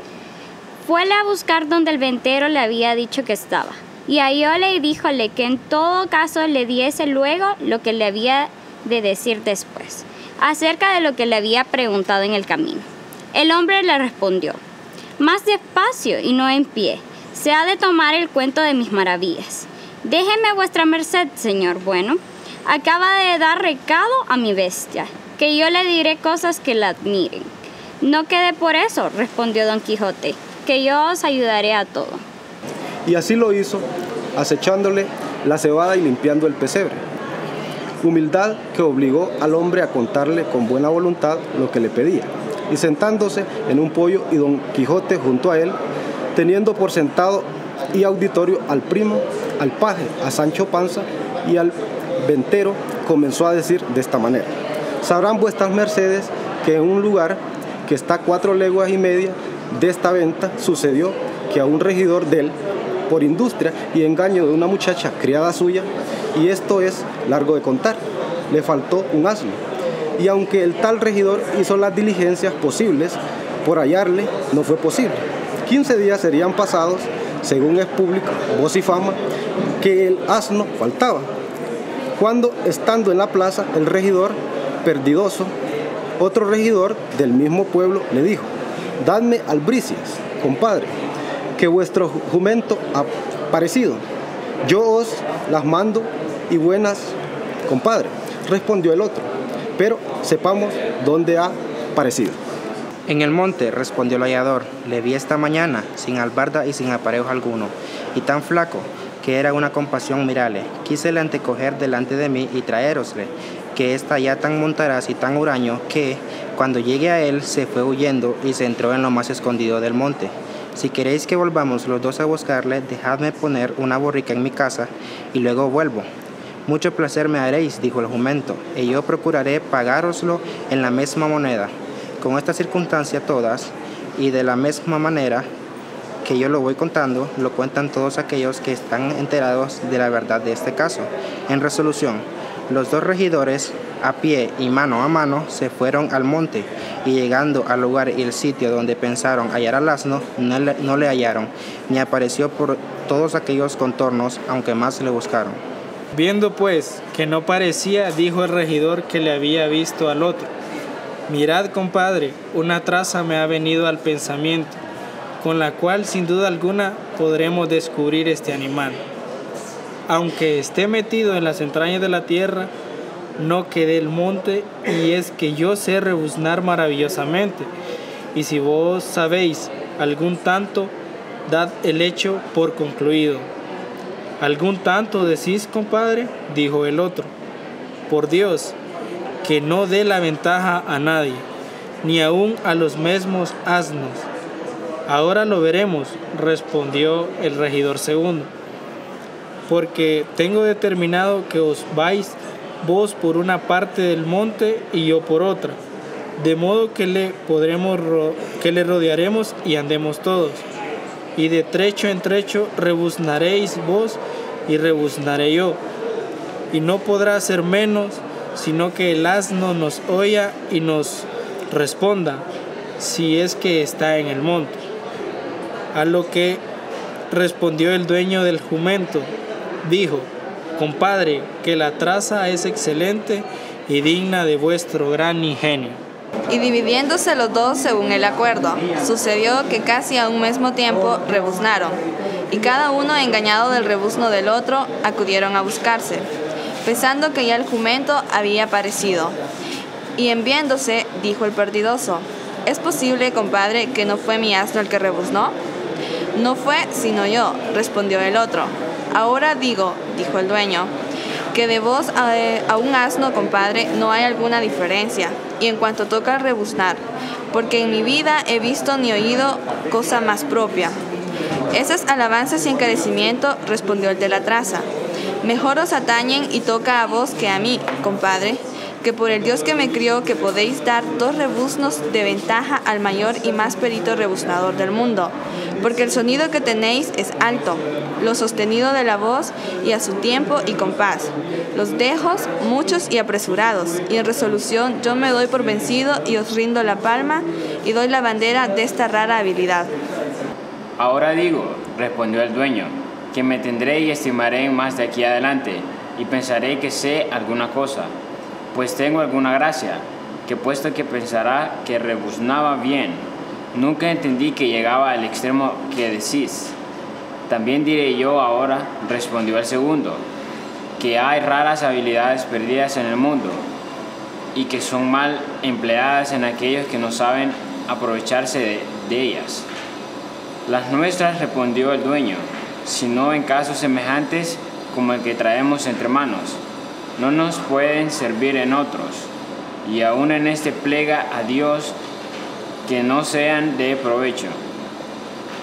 Estos dichos se tornaron a dividir y a volver en su rebuzno, y a cada paso engañaban y volvían a juntarse, hasta que se dieron por contraseño que para entender que eran ellos, y no el asno, rebus, rebusnes, rebusna, rebuznasen dos veces, una tras otra. Con esto, doblando a cada paso, los rebuznos rodearon todo el monte sin que, perdió, sin que el perdido jumento respondiese, ni aun por señas. Mas, ¿cómo había de responder el pobre y el logrado si le hallaron a lo más escondido del bosque, comido de los lobos? Y en viéndole dijo su dueño, ya me maravillaba yo de que él no respondía, pues a no estar muerto, él rebuznara si nos oyera, o no fuera asno. Pero a trueco de haberos oído rebuznar con tanta gracia, compadre, doy por bien empleado el trabajo que he tenido en buscarle, aunque le he hallado muerto. En buena mano está, compadre, respondió el otro, pues si bien canta el abad, no le va en saga el monancillo. Con esto, desconsolados y roncos, se volvieron a su aldea, a donde contaron a sus vecinos, amigos y conocidos cuánto les había acontecido en la busca de su asno, exagerando el uno la gracia del otro en el rebuznar, todo lo cual se supo y se extendió por los lugares circunvecidos, y el diablo que no duerme, como es amigo de sembrar y derramar rencillas y discordia por donde quiera, levantando caramillos en el viento y grandes quimeras de no nada, ordenó e hizo que las gentes de los otros pueblos, en viendo a alguno de nuestra aldea, rebuznasen, como dándoles en rostro con el rebuzno de nuestros regidores. Dieron en ello los muchachos, que fue dar en manos y en bocas de todos los demonios del infierno y fue cundiendo el rebuzno de en uno, de uno en otro pueblo, de manera que son conocidos los naturales del pueblo del rebuzno, como son conocidos y diferenciados los negros de los blancos. Y han llegado a tanto la desgracia de esta burla, que muchas veces con mano armada y formando escuadrón han salido contra los burladores, los burlados, a darse la batalla, sin poderlo remediar rey ni roque, ni temor ni vergüenza. Yo creo que mañana o es otro día, han de salir en campaña de los de mi pueblo, que son los del rebuzno, contra otro lugar que está a dos lenguas del nuestro, que en uno de los que más nos persiguen. Y por salir bien apercibidos, llevo compradas estas lanzas y alabardas que habéis visto. Y estas son las maravillas que dije que os habían de contar. Y si no os la han parecido, no sé otras. Y con esto dio fin a su plática el buen hombre, y en eso entró por la puerta de la venta un hombre todo vestido de camuza, media greguescos y jubón, y con voz levantada dijo, Señor huésped, ¿hay posada? Que viene aquí el mono adivino y el retablo de la libertad de Melisendra. Cuerpo de tal, dijo el ventero, que aquí está el señor maese Pedro. Buena noche se nos apareja. Olvidabéseme de decir cómo el tal maese Pedro traía cubierto el ojo izquierdo y casi medio carillo con un parche de tafetán verde, señal que todo aquel lado debía de estar enfermo. Y el ventero prosiguió diciendo, sea bienvenido vuesa merced, señor maese Pedro, ¿a dónde está el mono? El retablo que no los veo. Ya llegan cerca, respondió el todo Camusa, sino que yo me he adelantado a saber si hay posada al mismo duque de Alba se la quitara para dársela al señor maese Pedro, respondió el ventero. Llegue el mono y el retablo, que gente hay esta noche en la venta, que pagará él verle y las habilidades del mono. Sea en buen hora, respondió el del parche, que yo moderaré el precio y con sola la costa me daré por bien pagado. Y yo vuelvo a hacer que camine la carreta donde viene el mono y el retablo. Y luego se volvió a salir de la venta. Preguntó luego don Quijote al ventero qué maese Pedro era aquel y qué retablo y qué mono traía, a lo que respondió el ventero. Este es un famoso titerero, que a muchos días que anda por esta mancha de Aragón enseñando un retablo de Melisendra, libertada por el famoso don Gaiferos, que es una de las mejores y más bien representadas historias que de muchos años a esta parte en este reino se han visto. Trae asimismo consigo un mono de la más rara habilidad que se vio entre monos, ni se imaginó entre hombres, porque si le preguntan algo, está atento a lo que le preguntan y luego salta sobre los hombros de su amo y llegándosele al oído le dice la respuesta de lo que le preguntan. Y Maese Pedro la declara luego, y de las cosas pasadas dice mucho más que de las que están por venir, y aunque no todas veces acierta en todas, en las más no yerra de modo que nos hace creer que tiene el diablo en el cuerpo. Dos reales lleva por cada pregunta. Si es que el mono responde, quiero decir, si responde el amo por él, después de haberle hablado al oído, y así se cree que tal maese Pedro está riquísimo, y es el hombre galante, como dicen en Italia, y buen campaño, y dase la mejor vida del mundo, habla más que seis y bebe más que doce, todo a costa de su lengua y de su mono y de su retablo. En esto volvió maese Pedro, y en una carreta venía el retablo, y el mono, grande y sin cola, con las posaderas de fieltro, pero no de mala cara, y apenas le vio don Quijote cuando le preguntó, dígame vuesa merced, señor adivino, ¿qué peje pillamos? que ha de ser de nosotros, y ve aquí mis dos reales. Y mandó a Sancho que le diese a maese Pedro, el cual respondió por el mono y dijo, Señor, este animal no responde ni da noticias de las cosas que están por venir. De las pasadas sabe algo y de las presentes algún tanto. Voto a Rose, dijo Sancho, no de yo un ardite porque me digan lo que por mí me ha pasado. ¿Por qué? ¿Quién lo puede saber mejor que yo mismo? Y pagar yo porque me digan lo que sé sería una gran necedad. Pero pues sabe las cosas presentes. He aquí mis dos reales. Y dígame el señor monísimo que hace ahora mi mujer de esa panza y en qué se entretiene. No quiso tomarme ese Pedro el dinero, diciendo, no quiero recibir adelantados los premios sin que hayan prescindido los servicios. Y dando con la mano derecha dos golpes sobre el hombro izquierdo, en un brinco se le puso el mono en él, llegando la boca al oído, daba dientes con dientes muy apriesa, y habiendo hecho esta ademán por espacio a un credo, de otro brincó, se puso en el suelo. Y al punto, con gran grandismo y priesa, se fue más Pedro a poner de rodilla ante Don Quijote, y abrazándole las piernas, dijo, Estas piernas abrazo, bien así como si abrazara las dos columnas de Hércules, oh resucitador insigne de la ya puesta en olvido andante caballería o no jamás como se debe alabado caballero Don Quijote de la Mancha, ánimo de, de, los desmayados, arrimo de los que van a caer, brazo de los caídos, báculo y consuelo de todos los desdichados. Quedó pasmado Don Quijote, absorto Sancho, suspenso el primo, atónito el paje, abobado el, el de rebuzno, confuso el ventero y finalmente espantados todos los que oyeron las razones del titero, el cual prosiguió diciendo, y tú, oh buen Sancho Panza, el mejor escudero y del mejor caballero del mundo, alégrate que tu, buena mujer Teresa está buena y está en la hora en que ella está rastrillando una libra de lino, y por más señas, tiene a su lado izquierdo un jarro desbocado que cabe un buen porqué de vino, con que se entretiene en su trabajo. Eso creo yo muy bien, respondió Sancho, porque ella es una, es una bienaventurada, y a no ser celosa, no la troncara yo por la agigantona abandona, que según mi señor fue una mujer muy cabal y muy pro. Es mi Teresa de aquellas que no dejan mal pasar, aunque sea a costa de sus herederos. Ahora digo, digo a esta sazón Don Quijote, que el que lee mucho y anda mucho, ve mucho y sabe mucho. Digo esto porque, qué persuasión, fuera bastante para persuadirme que hay monos en el mundo que adivinen, como lo he visto yo ahora con mis propios ojos, porque yo soy el mismo Don Quijote de la Mancha que este animal ha dicho, puesto que se ha entendido algún tanto de mis alabanzas, pero como quiera que yo me sea, doy gracias al cielo que dotó de un ánimo blando y compasivo, inclinando siempre a hacer bien a todos y mal a ninguno. Si yo tuviera dinero, dijo el paje, preguntará el señor mono qué me ha de suceder en la peregrinación que llevo. A lo que respondió maese Pedro, que ya se había levantado de los pies de Don Quijote. Ya he dicho que esta Venezuela no responda a lo porvenir, que si respondiera, no importara no haber dineros, que por servicio del señor Don Quijote, que está presente, dejará yo todos los intereses del mundo, y ahora porque se lo debo, y por darle gusto. Quiero amar a mi retablo y dar placer a cuantos están a la venta sin paga alguna.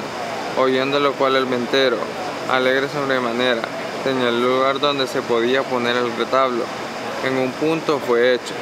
Don Quijote no está muy contento con las adivinanzas del mono. Por parecerle no ser a propósito que un mono adivinase, ni las de porvenir, ni las pasadas cosas, y así. En tanto que maese Pedro acomodaba el retablo, se retiró Don Quijote con Sancho a un rincón de la caballeriza, donde, sin ser oídos de nadie, le dijo, Mira Sancho, yo he considerado bien la extraña habilidad de este mono, y hallo por mí cuenta que sin Dios este maese Pedro, su amo debe de tener hecho pacto tácito o expreso con el demonio. Si el patio es espeso y del demonio, dijo Sancho, sin duda debe de ser muy sucio patio. Pero, ¿de qué provecho le es al tal maese Pedro tener esos patios? No me entiendes, Sancho. No quiero decir, sino que debe de tener hecho algún concierto con el demonio, de que infunda esa habilidad en el mono, con que gane de comer, y después que ese rico le dará su alma, que es lo que ese universal enemigo pretende, y hacerme creer eso al ver que el mono no responde sino a las cosas pasadas o presentes. Y la sabiduría del diablo no se puede entender a más, que las por venir no las saben si es, si es de por conjeturas. Y no todas todas veces que a Dios está reservado conocer los tiempos y los momentos, y para Él no hay pasado ni por venir, que todo es presente. Y siendo esto así, como lo es, está claro que este mono habla con el estilo del diablo, y estoy maravillado cómo no le han acusado el santo oficio. Y examinándole y sacándole de cuajo en virtud de quien adivina, por cierto está que este mono no es astrólogo. Ni su amo ni él alzan, ni saben alzar. Estas figuras que llaman judiciarias, que tanto ahora se usan en España, que no hay mujercilla, ni paje, ni cipatero de viejo que no presuma de alzar una figura, como si fuera una sota de naipes del suelo, echando a perder con sus mentiras e ignorancias la verdad maravillosa de la ciencia. De una señora sé yo que preguntó a uno de estos figureros que si una perrilla de falda pequeña que tenía, si se empreña, empreñaría y pariría, y cuántos y de qué color serían los perros que pariese. A lo que el señor judicario, después de haber alzado la figura, respondió que la perrica se empreñaría y pariría tres perricos, el uno verde, el otro encarnado y el otro de mezcla, con tal condición que tal perra se cubriese entre las 11 y 12 del día o de la noche y que fuese en lunes o en sábado. Y lo que sucedió fue que ahí a dos días se moriría la perra, Y el señor levantador quedó acreditado en lugar por acertidísimo judicario, como lo quedan todos o los más levantadores.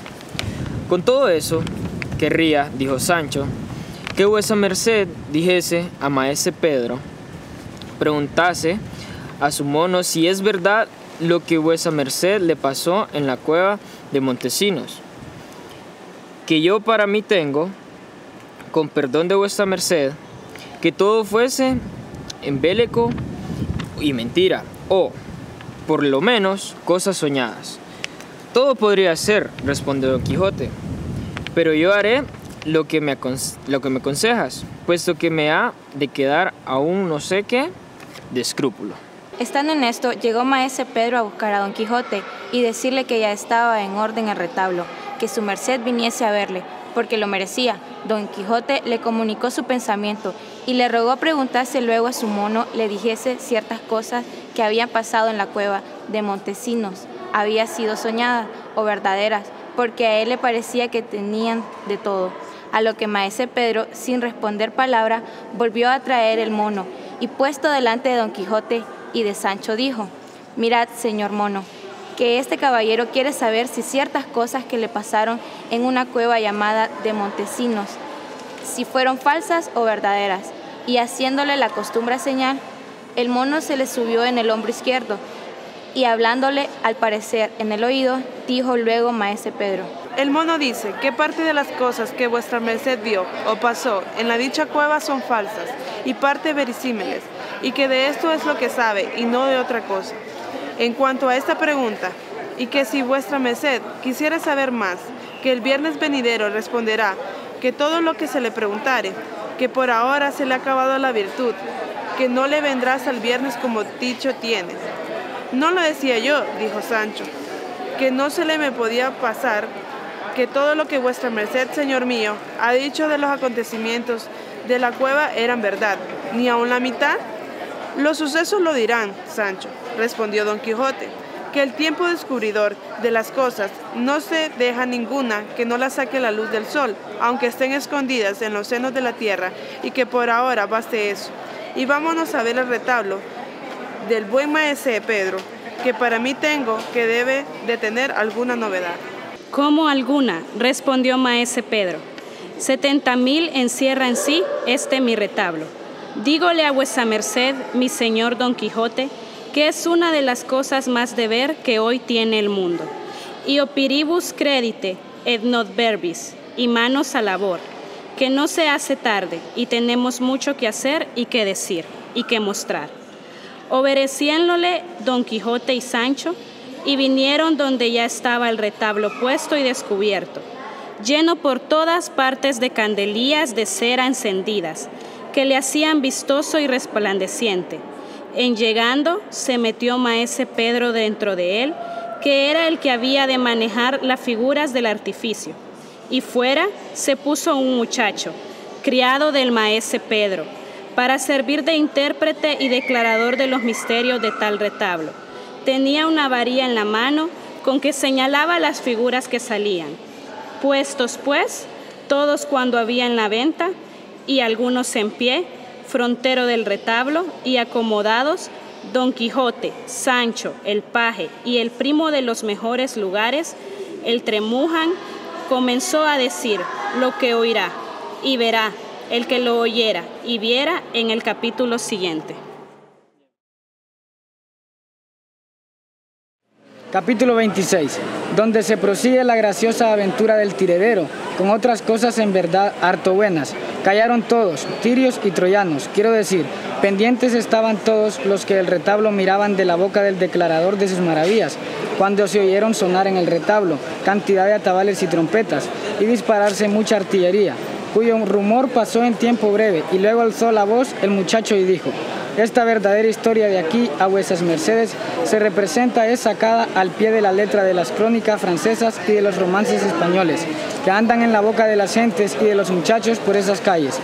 Trata de la libertad que dio el señor don Gaiferos a su esposa Melisendra, que estaba cautiva en España, en poder de moros, en la ciudad de Sansueña, que así se llamaba entonces la que hoy se llama Zaragoza, y vean vuestras mercedes allí cómo está jugando a las tablas don Gaiferos, según aquello que se canta, jugando está las tablas don Gaiferos, que ya de Melisendra está olvidado. Y aquel personaje que ahí asoma con corona en la cabeza y cetro en las manos es el emperador Carlo Magno, padre putativo de la tal Melisendra, el cual, mohino de ver el ocio y descuido de su yerno, le sale a reñir, y adviertan con la vehemencia y ahínco que le riñe, que no parece sino que le quiere dar con el ceptro media docena de coscorrones. Y aún hay autores que dicen que se los dio, y muy bien dados, y después de haberle dicho muchas cosas acerca del peligro que corría su honra en no procurar la libertad de su esposa, dicen que le dijo, harto os he dicho, miradlo. Miren vuestras mercedes también como el emperador vuelve las, vuelve las espaldas y deja despecho a don Gaiferos, el cual ya ven como arroja, impaciente de la cólera, lejos de su tablero y las tablas, y pide apriesa las armas, y a don Roldán, su primo, pide prestada su espada durindana. Y como don Roldán no se les quiere prestar, ofreciéndole su compañía en la difícil empresa en que se pone, pero el valeroso enojado no le quiere aceptar, antes dice que él solo es bastante para sacar a su esposa. si bien estuviese metida en el más hondo centro de la tierra, y con esto se entra a armar para ponerse luego en camino. Vuelvan vuestras mercedes los ojos que ahí, que aquella torre que ahí parece, que se presume que es una de las torres de Alcázar de Zaragoza, que ahora se llama la Alzafería, y aquella dama que en aquel balcón parece, vestida a lo moro, es la eh, por Melisandra, que desde ahí muchas veces se ponía a mirar el camino de Francia y puesta la imaginación en París, y en su esposo se consolaba en su cautiverio. Miren también un nuevo caso que ahora sucede, quizás no visto jamás. No, deben, no ven aquel moro que callecido y pasito a pasito, puesto el dedo en la boca, se llega por las espaldas de Melisandra. Pues miren cómo le da un beso en mitad de los labios y la pieza que aquella se da a escupir y a limpiárselos en la blanca manga de su camisa y como se lamenta y se arranca de pesar sus hermosos cabellos, como si ellos tuvieran la culpa de maleficio. Miren también como aquel grave moro que está en aquellos corredores es el rey Marsilio, de gran sansueña, el cual por haber visto la insolencia del moro, puesto que era un paciente, pariente y gran privado suyo, le mandó luego prender y que le den doscientos azotes, llevándole por las calles acostumbradas de la ciudad, con chilladores delante y embaramiento detrás. Y veis aquí donde salen a ejecutar la sentencia, aún bien apenas no habiendo sido puesta en ejecución la culpa, porque entre moros no hay traslado a la parte ni a prueba y estese como entre nosotros. Niño, niño, dijo con voz alta a este sazón Don Quijote, seguid vuestra historia línea recta y no os metáis en las curvas o transversales, que para sacar una verdad el limpio menester son muchas pruebas y repruebas. También dijo Maese Pedro dentro, desde dentro, Muchacho, no te metas en dibujos, sino haz lo que ese Señor te manda, que será lo más acertado. Sigue tu canto llano y no te metas en contrapunto, que se suelen quebrar de sótiles. Yo lo haré así, respondió el muchacho y prosiguió diciendo, esta figura que aquí parece a caballo, cubierta con una capa gascona, es la misma de don Gaiferos, aquí su esposa, ya, vengada del atrevimiento del enamorado moro, con mejor y más sosegado semblante, se ha puesto a los miradores del norte y habla con su esposo, creyendo que es algún pasajero, con quien pasó todas aquellas razones y coloquios de aquel romance que dicen, Caballero, si a Francia ires por gaiferos preguntad, los cuales no digo yo ahora, porque la prolijidad se suele engendrar el fastidio. Basta ver cómo Gaiferos se descubre y que por los ademanes alegres que Melisendra hace, se nos da a entender que ella le ha conocido. Y más ahora vemos, se descubre del balcón para aparecerse en las ancas del caballo de su buen esposo.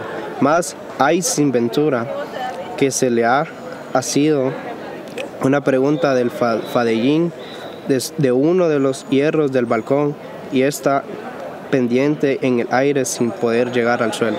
Pero veis como el piadoso cielo socorre en las mayores necesidades, pues llega don Gaiferos y sin mirar si se rasgara o no el rico faldellín, hace de ella y mal su grado la hace bajar al suelo y luego de un brinco le pone sobre la anca de su caballo el horcajadas.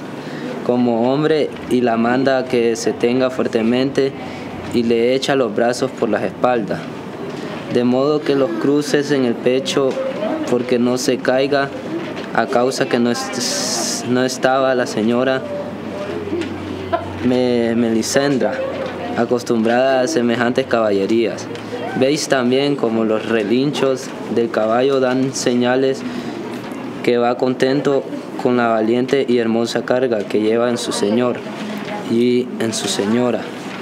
Veis cómo vuelven las espadas y salen de la ciudad y alegres y regocijados toman de París la vía. Vais en paz, o par, o par sin par de verdaderos amantes. Lleguéis a, salva, a salvamento a vuestro des, deseada patria, sin que la fortuna ponga estorbo en vuestro feliz viaje. Los ojos de vuestros amigos y parientes os venga a gozar en paz tranquila los días. Que los de Néstor sean, que os queden en la, de la vida. Aquí alzó la voz otra vez maese Pedro y dijo, Llanesa, muchacho, no te encumbres que toda afectación es mala. No respondió, nada el intérprete, antes prosiguiendo, dijo, diciendo, no faltaron algunos ociosos ojos que lo suelen ver todo, que no viese la bajada y la subida de Melisandra, de quien dieron noticia al rey Marsilio, el cual mandó luego a tocar el arma, y miren con qué empresa, que ya la ciudad se hunde con el son de las campanas que en todas las torres de la mezquita suenan. Eso no, dijo a ese sazón Don Quijote.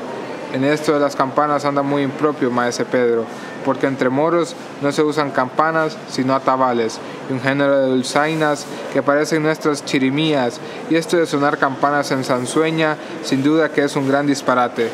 Lo cual oído por maese Pedro cesó al tocar y dijo, no mire vuesa merced de niñerías, señor Don Quijote, ni quiera llevar las cosas tan por el cabo que no se le halle.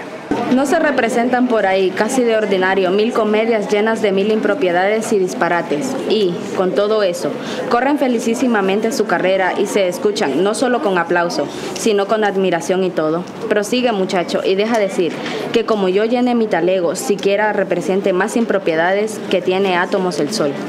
Así es la verdad, replicó Don Quijote, y el muchacho dijo, miren cuánta y cuán lúcida caballería sale de la ciudad en seguimiento de los dos católicos amantes, cuántas trompetas que suenan, cuántas dulzainas que tocan y cuántos atabales y atambores que retumban. Témome que los han de alcanzar y los han de volver atados a la cola de su mismo caballo que sería un horrendo espectáculo.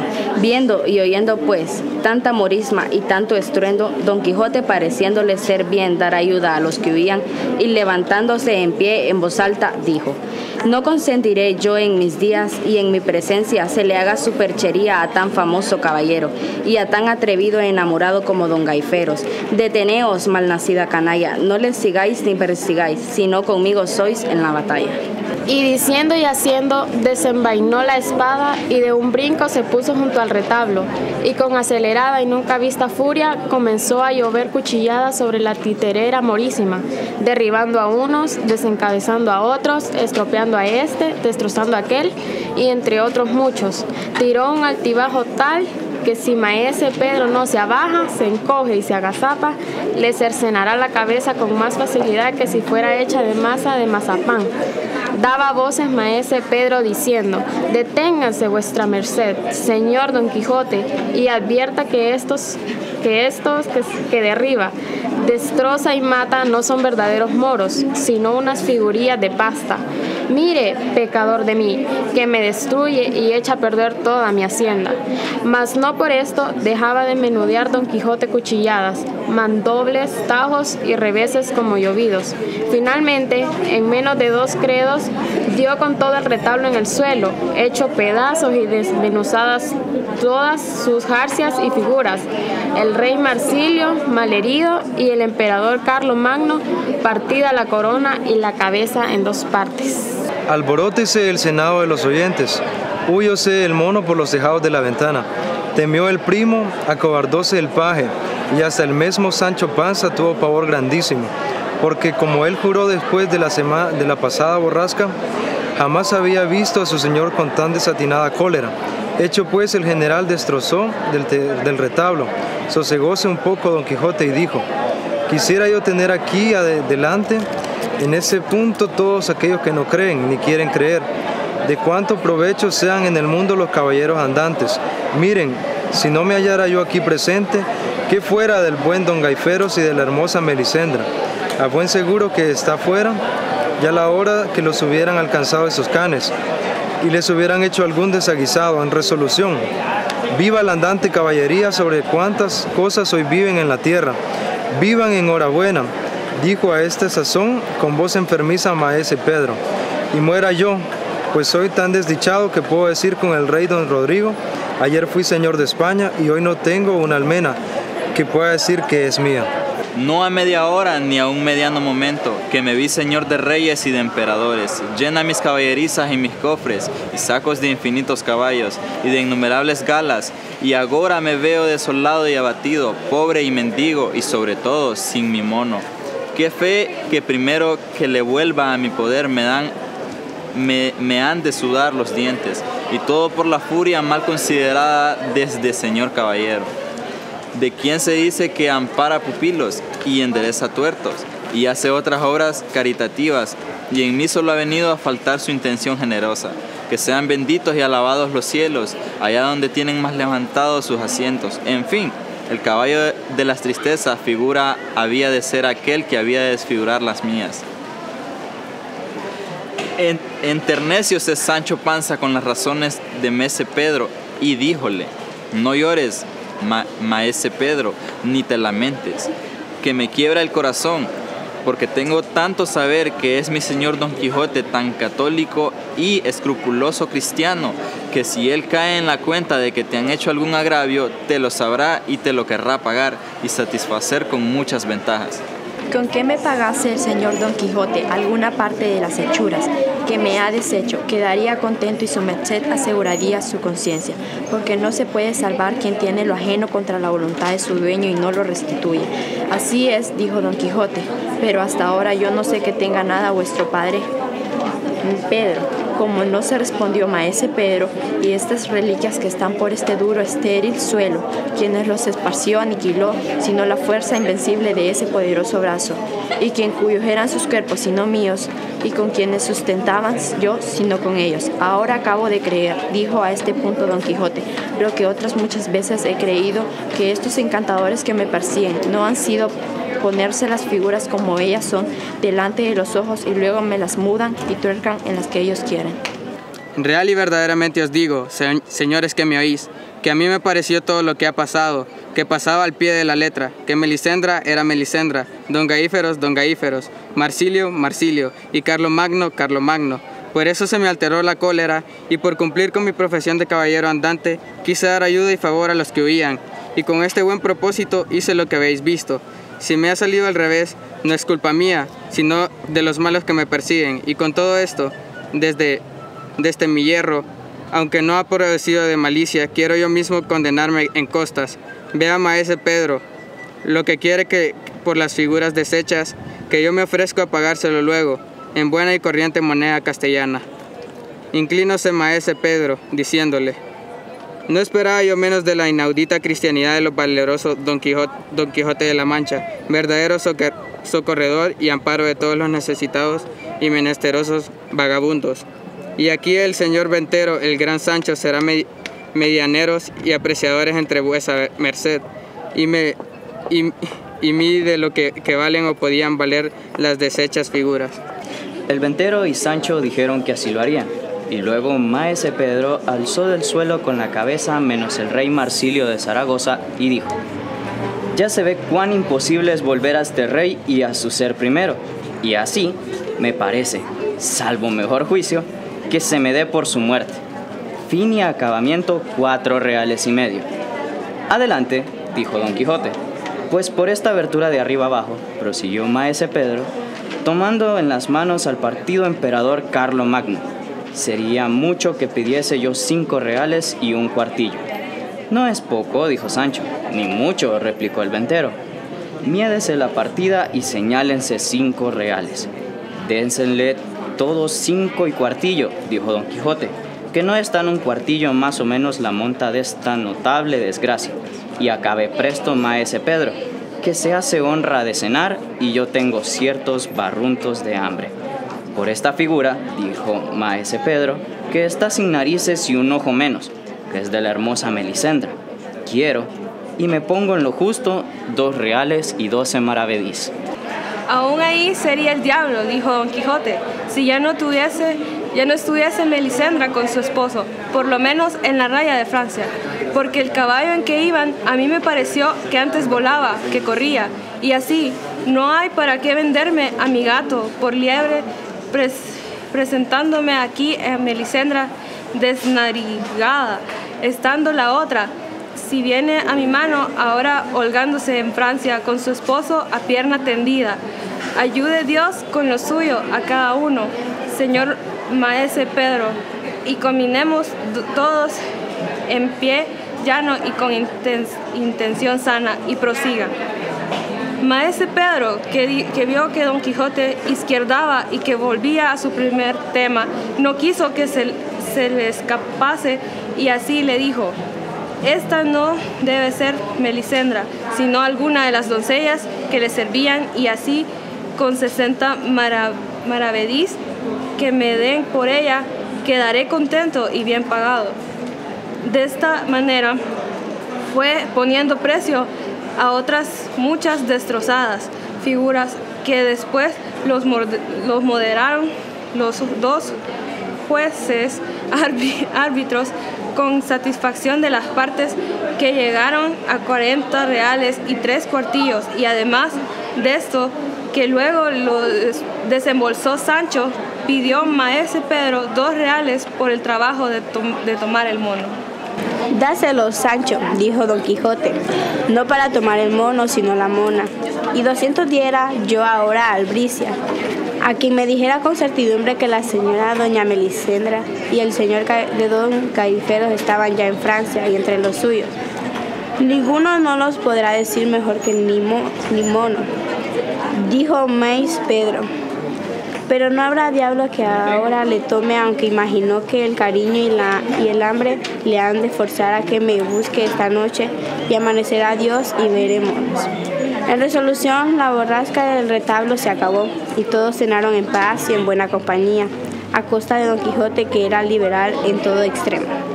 Antes que amaneciese se fue el que llevaba las lanzas y, la, y alabardas y ya después amanecidos se vinieron a despedir de Don Quijote, el, el, primo y el, y, el paje, el uno para volverse a su tierra y el otro a proseguir su camino para ayuda del cual le dio Don Quijote una docena de reales.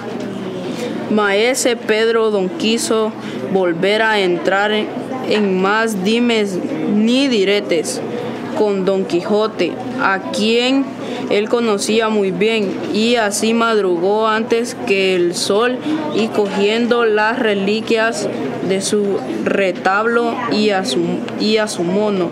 Se fue también a buscar sus aventuras el ventero que no conocía a Don Quijote, tan admirado le tenía sus locuras como su liberal, liberalidad. Finalmente Sancho le pagó muy, muy bien por orden de su señor y despidiéndose de él casi a las 8 del día dejaron la venta y se pusieron en camino donde los dejáramos, donde los dejáramos ir que así conviene para, para dar lugar a, a contar otras cosas pertenecientes a la declaración de esta famosa historia. capítulo 27, donde se da cuenta quiénes eran Maese Pedro y su mono con el mal suceso que Don Quijote tuvo en la aventura del rebuzno, que no la acabó como él quisiera y como la tenía pensado. Entre sí de Amete, corista de esta grande historia, con estas palabras en este capítulo. Juro como católico cristiano, a lo que su traductor dice que el jurar sí de Amete como católico cristiano, siendo él moro, como sin duda lo era. No quiso decir otra cosa, sino que, así como el católico cristiano, cuando jura, jura o debe jurar verdad y decirla en lo que dijere. Así él la decía, como si jurara como cristiano católico, en lo que quería escribir de Don Quijote, especialmente en decir quién era Maese Pedro, y quién el mono adivinó que traía admirados todos aquellos pueblos con sus adivinanzas. Dice pues que bien se acordará el que hubiere leído la primera parte de esta historia de aquel guinés de Pasaponte a quien, entre otros galeotes, dio libertad Don Quijote en Sierra Morena, beneficio que después le fue mal agradecido y peor pagado de aquella gente maligna y mal acostumbrada. Este Ginés de Pasamonte, a quien Don Quijote llamaba Ginesío de Parapilla, fue el que hurtó a Sancho Panza, el rucio, que por no haberse puesto él como ni él cuando en la primera parte, por culpa de los impresores, ha dado que entender a muchos que atribuían a poca memoria del autor la falta de emprenta. Pero en resolución, Gines le hurtó cuando, estando sobre él durmiendo Sancho Panza, usando de la traza y de modo que usó Brunello, cuando, estando sacripante sobre Albraca, le sacó el caballo de entre las piernas y después le cobró Sancho, como se ha contado.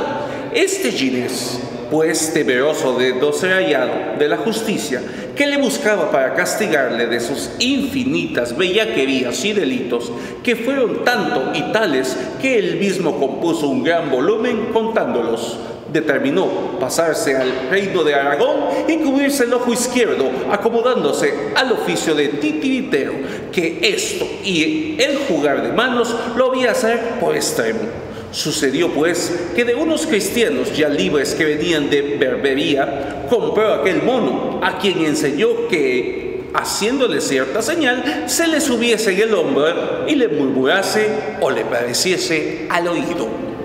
Hecho esto antes que entrase en el lugar donde entraba con su retablo y mono. Se informaba en el lugar más cercano o de quién el mejor podía, qué cosas particulares hubiesen sucedido en tal lugar y a qué personas. Y llevándolas bien en la memoria, lo primero que hacía era mostrar su retablo, el cual más a veces era de una historia y otras de otra, pero todas alegres y regocijadas y conocidas Acababa la muestra, proponía las habilidades de su mono, diciendo al pueblo que adivinaba todo lo pasado y lo presente, pero que en lo de porvenir no se daba maña. Por la respuesta de cada pregunta pedía dos reales y de alguna hacía barato, según tomaba el pulso a los preguntantes. Y como tal vez llegaba a la casa de quien él sabía los sucesos de lo que en ella moraban, aunque no le preguntasen nada por no pagarle. Él hacía la seña al mono y luego decía que le había dicho tal y tal cosa, que venía de molde con lo sucedido. Con esto cobraba crédito inefable y andaba todos tras él. Otras veces, como era tan discreto, respondía de manera que las respuestas venían bien con las preguntas.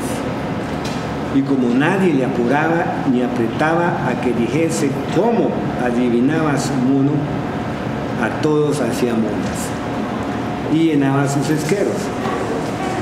Así como entró en la venta, conoció a Don Quijote y a Sancho, por cuyo conocimiento le fue fácil poner en admiración a Don Quijote y a Sancho Panza, y a todos, todos los que ahí estaban. Pero hubiérale de costar, claro, si Don Quijote bajara un poco más la mano cuando cortó la cabeza al rey Marsilio y destruyó toda su caballería, como queda dicho en el antecedente. Esto es lo que hay que decir de Maese Pedro y de sus monos.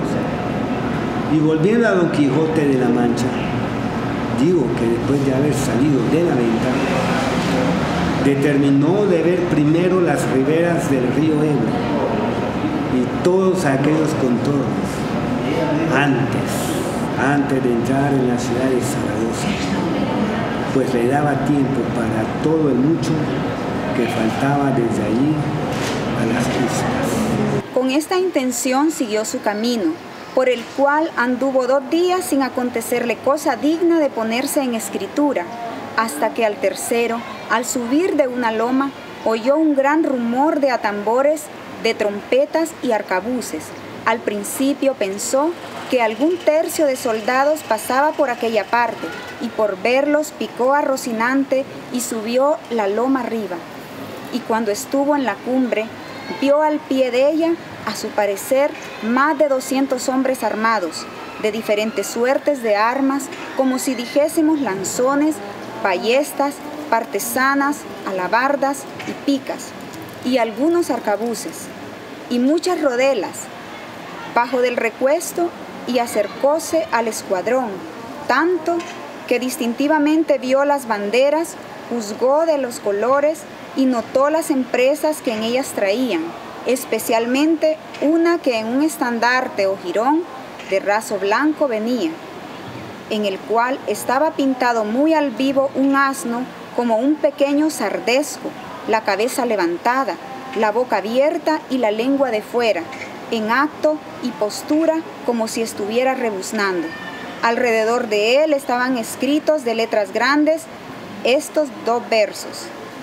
No rebuznaron en balde el uno y el otro alcalde. Por esta insignia sacó Don Quijote que aquella gente debía de ser del pueblo del rebuzno, y así se lo dijo a Sancho, declarándole lo que en el estandarte venía escrito. Díjole también que el que le había dado la noticia de aquel caso se había errado, es decir, que dos regidores habían sido los que rebuznaron porque según los versos del estandarte no habían sido sino alcaldes, a lo que respondió Sancho Panza, Señor, en eso no hay que reparar, que bien puede ser que los regidores que entonces rebuznaron viniesen con el tiempo a ser alcaldes de su pueblo y así se puedan llamar con estrambos títulos, cuanto más no se hace el caso a la verdad de la historia ser los rebuznadores alcaldes o regidores, como ellos una por una hayan rebuznado, porque tan a pique están de rebuznar un alcalde como un regidor. Finalmente conocieron y supieron como el pueblo corrido salía a pelear con otro que le corría más de lo justo y de lo que se debía a la buena vecindad. Fuese llegando a ellos Don Quijote, no con poca pesadumbre de Sancho, que nunca fue amigo de hallarse en semejantes jornadas. Los del escuadrón le recogieron en medio, creyendo que era alguno de los de su parcialidad. Don Quijote, alzando la visera, con gentil brío y continente, llegó hasta el estandarte del asno y allí se le pusieron alrededor todos los más principales del ejército, por verle, admirados con la admiración acostumbrada, en que caían todos aquellos que la vez primera le miraban. Don Quijote, que los vio tan atentos a mirarle, sin que ninguno le hablase ni le preguntase nada, quiso aprovecharse de aquel silencio y rompiendo el suyo, alzó la voz y dijo, Buenos señores, cuán encarecidamente puedo os suplico que no interrumpáis un razonamiento que quiero haceros, hasta que veáis que os disgusta y enfada, que si esto sucede, con la más mínima señal que me hagáis, pondré un sello en mi boca y echaré una mordaza a mi lengua. Todos le dijeron que dijese lo que quisiese, que de buena gana le escucharían. Don Quijote, con esta licencia, prosiguió diciendo, Yo, señores míos, soy caballero andante, cuyo ejercicio es el de las armas y cuya profesión la de favorecer a los necesitados de favor y acudir a los menesterosos. Días que he sabido vuestra desgracia y la causa que os mueve a tomar las armas a cada paso, para vengaros de vuestros enemigos y habiendo discurrido una y muchas veces en mi entendimiento sobre vuestro negocio, hallo, según las leyes del duelo, que estáis engañados en teneros por enfrentados, porque ningún particular puede afrentar a un pueblo entero, si no es retándole de traidor por junto, porque no sabe en particular quién cometió la traición porque le reta.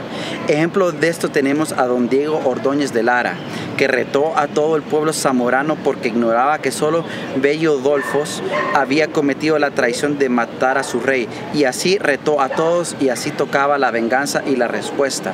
Aunque bien es verdad que el señor don Diego anduvo demasiado y a un paso muy adelante de los límites del reto, porque no tenía para qué retar a los muertos, a las aguas, ni a los panes, ni a los que estaban por nacer, ni a los otras menudencias que ahí se declaraban, pero vaya, pues cuando la cólera sale de madre no tiene la lengua padre, halló ni freno que la corrija.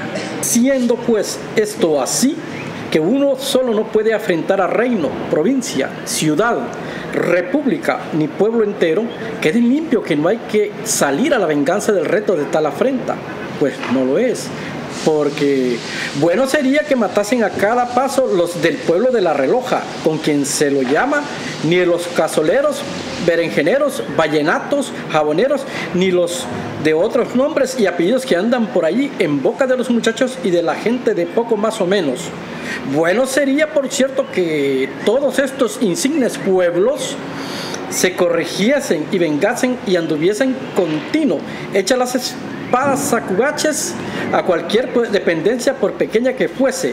No, no, ni Dios lo permita o quiera. A estas cinco causas, como capitales, se puede agregar algunas otras que sean justas y razonables y que obliguen a tomar las armas, pero tomarlas por niñerías y por cosas que antes son de risa y pasatiempo que de afrenta. Parece que quien las toma carece de, toda razonable, de todo razonable discurso, cuanto más que al tomar venganza injusta, que justa no puede haber alguna que lo sea, va derechamente contra la santa ley que ofrecemos, en la cual se nos manda que hagamos bien a nuestros enemigos y que amemos a los que nos aborrecen. Mandamiento que aunque parece algo dificultoso de cumplir, no lo es, sino para aquellos que tienen menos de Dios que del mundo y más de carne que de espíritu. Porque Jesucristo, Dios y hombre verdadero, que nunca mintió, ni pudo ni puede mentir, siendo legislador nuestro, dijo que su yugo era suave y su carga liviana, y así no nos había de mandar cosa que fuese imposible de cumplir. Así que, mis señores, vuestras mercedes están obligadas por ley divina y humanas a sosegarse. El diablo me lleve, dijo a esta sazón Sancho entre sí, si este mi amo no es tólogo, y si no lo es, que lo parece como un huevo a otro. Tomó un poco de aliento don Quijote, y viendo que todavía le prestaban silencio, quiso pasar adelante en su plática.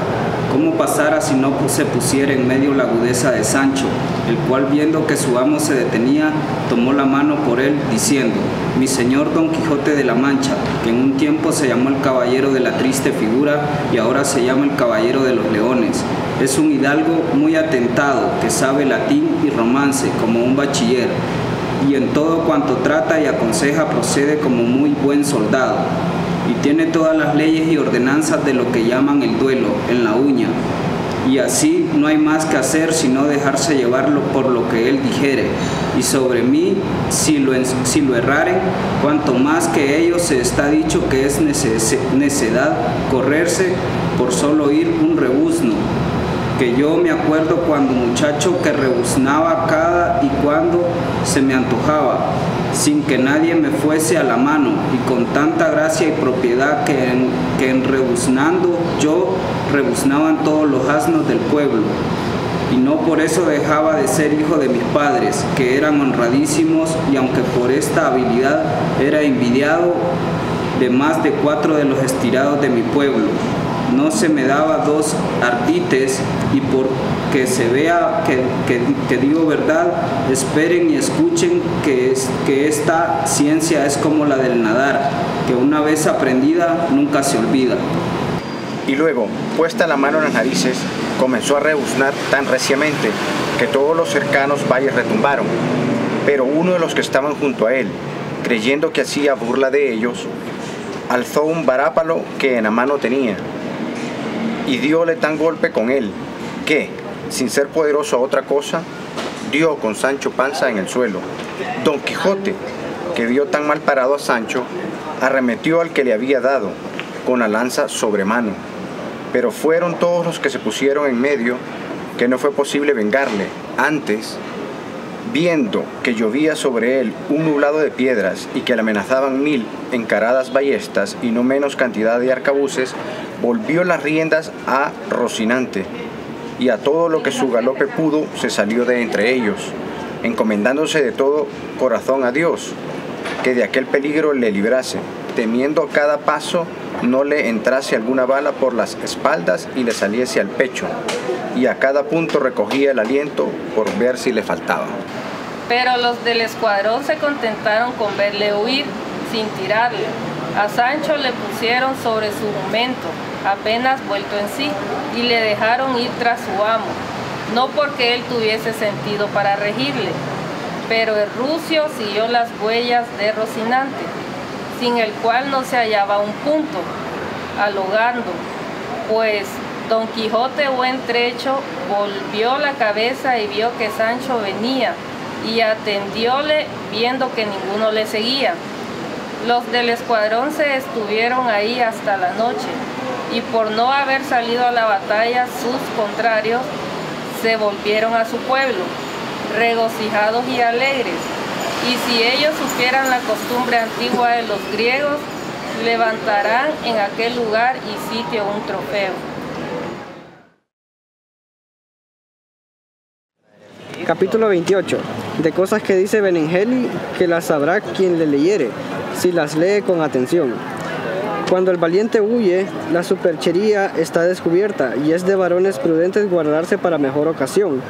Esta verdad se verificó en Don Quijote, el cual, dando lugar a la furia del pueblo y a las malas intenciones de aquel indignado escuadrón, puso pies en polvorosa y, sin acordarse de Sancho ni del peligro en que le dejaba, se apartó tanto cuanto le pareció que bastaba para estar seguro. Seguíale Sancho, atravesado en su jumento, como quedó referido. Llegó, en fin, ya vuelto en su acuerdo, y al llegar se dejó caer del rocío a los pies de Rocinante, todo ansioso, todo molido y todo apaleado. Apéose Don Quijote para catarle las feridas, pero, como le hallase sano de los pies a la cabeza, con asaz cólera le dijo, Tan en hora mala supiste vos rebuznar, Sancho, y ¿Dónde hallaste vos ser bueno el nombrar la soga en, casa del ahorcado? A música de rebuznos, ¿qué contrapunto se había de llevar sino de varapalos?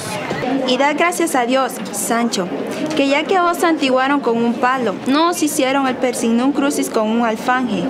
No estoy para responder, respondió Sancho, porque me parece que hablo por las espaldas. Subamos y apartémonos de aquí, que yo, podré, que yo pondré silencio en mis rebuznos, pero no en dejar pero no en dejar de seguir que los caballeros andantes huyen y dejan a sus buenos escuderos molidos como leño o como, o como cibera en poder de sus enemigos. No huye el que se retira, respondió Don Quijote, porque has de saber, Sancho, que la valentía que no se funda sobre, sobre la basta de la prudencia se llama temeridad y las hazañas del temerario más se atribuyen a la buena fortuna que a, que a su ánimo. Y así yo confieso que me he retirado, pero no huido. Y en esto he imitado a muchos valientes que se han guardado para tiempos mejores. Y de esto están las, y de esto están las historias llenas, las cuales por nos las cuales por no serte a ti de provecho ni a mí de gusto, no te las refiero ahora. En esto ya estaba caballo Sancho ayudando de Don Quijote, el cual asimismo subió en Rocinante y poco a poco se fueron a emboscar en una alameda que hasta un cuarto de legua de ahí se parecía. De cuando en cuando daba Sancho unos ayes profundísimos y unos gemidos, gemidos dolorosos y preguntándole don Quijote la causa de tan amargo sentimiento, respondió que desde la punta del espinazo hasta la nuca del cerebro le dolía la, de manera que le sacaba de sentido. La causa de ese dolor debe de ser, sin duda, dijo don Quijote, que, que como era el palo con que te dieron largo y tendido, te cogió todas las espaldas, donde entran todas esas partes que te duele y si más te doliera, más te doliera. Por Dios, dijo Sancho, que vuese merced me ha sacado de una gran duda y que me le ha declarado por lindos términos cuerpo de mí. Tan encubierta estaba la causa de mi dolor que ha sido menester decirme que me duele todo lo aquello que alcanzó el palo.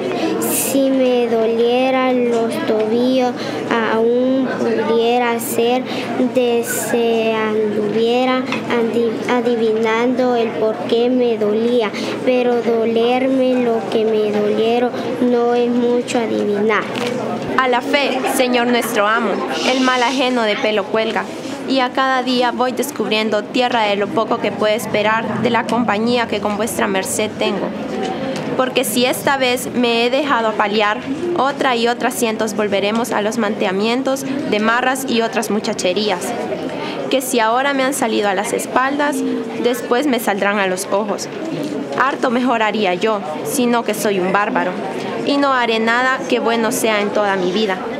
Harto mejor haría yo, vuelvo a decir, envolverme a mi casa y a mi mujer y a mis hijos y sustentarle y criarlos con lo que Dios fue servido de darme y no andarme tras vuestra merced por caminos sin camino y por sendas y carreras que no las tienen, bebiendo mal y comiendo peor. Pues tomadme el dormir, contad hermano escudero, siete pies de tierra, y si quisiéredes más, tomad otros tantos, que en vuestra mano está escudillar. Y tendeos a todo vuestro buen talante, que quemado vea yo y hecho polvos al primero que dio puntada en la andante caballería, o al menos al primero que quiso ser escudero de tales tontos, como debieron ser todos los caballeros andantes pasados. De los presentes no digo nada, que por ser vuestra merced uno de ellos los tengo respeto, y porque sé que sabe vuestra merced un punto más que el diablo en cuanto habla y en cuanto piensa. Haría yo una buena apuesta con vos, Sancho, dijo Don Quijote, que ahora vais hablando sin que nadie os vaya a la mano, que no os duele nada en todo vuestro cuerpo. Hablad, hijo mío, todo aquello que os viniere al pensamiento y a la boca, que, a trueco de que a vos no os duela nada, tendré yo por gusto el enfado que me das vuestra impertinencia. Y si tanto deseáis volveros a vuestra casa con vuestras mujeres y hijos, no permita Dios que yo os lo impida. Dinero tenéis míos. Mirad cuánto ha que esta tercera vez salimos de nuestro pueblo, y mirad lo que podéis y debéis ganar cada vez, y pagaos de vuestra mano. Cuando yo servía, respondió Sancho, a Tomé Carrasco, el padre del bachiller Sansón Carrasco, que vuestra merced bien conoce, dos ducados ganaba cada mes, amén de la comida.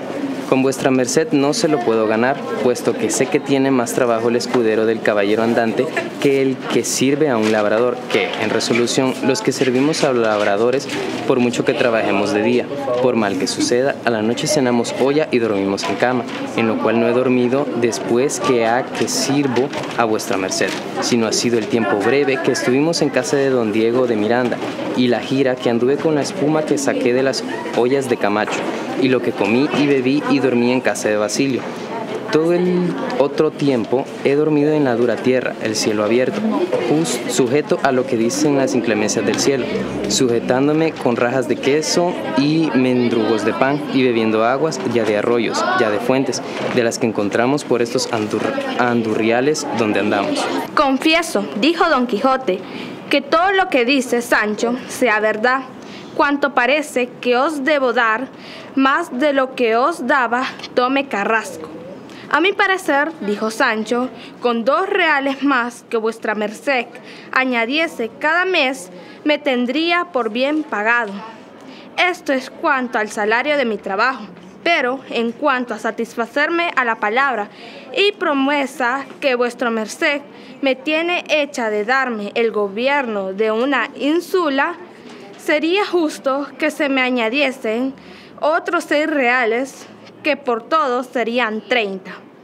Está muy bien, replicó don Quijote, y conforme al salario que vos os habéis señalado, señalado 25 días a que salimos de nuestro pueblo, contad, Sancho, rata por cantidad, y mirad lo que os debo, y pagaos como os tengo dicho de vuestra mano. Oh cuerpo de mí, dijo Sancho, que va vuestra merced muy errado.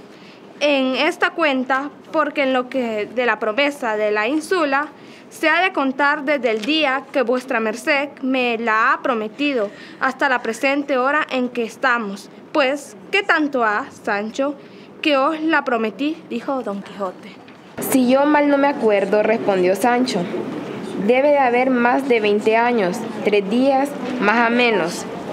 Diose Don Quijote una gran palmada en la frente y comenzó a reír muy de gana y dijo, pues no anduve yo en Sierra Morena ni en todo el discurso de nuestras salidas, sino dos meses apenas.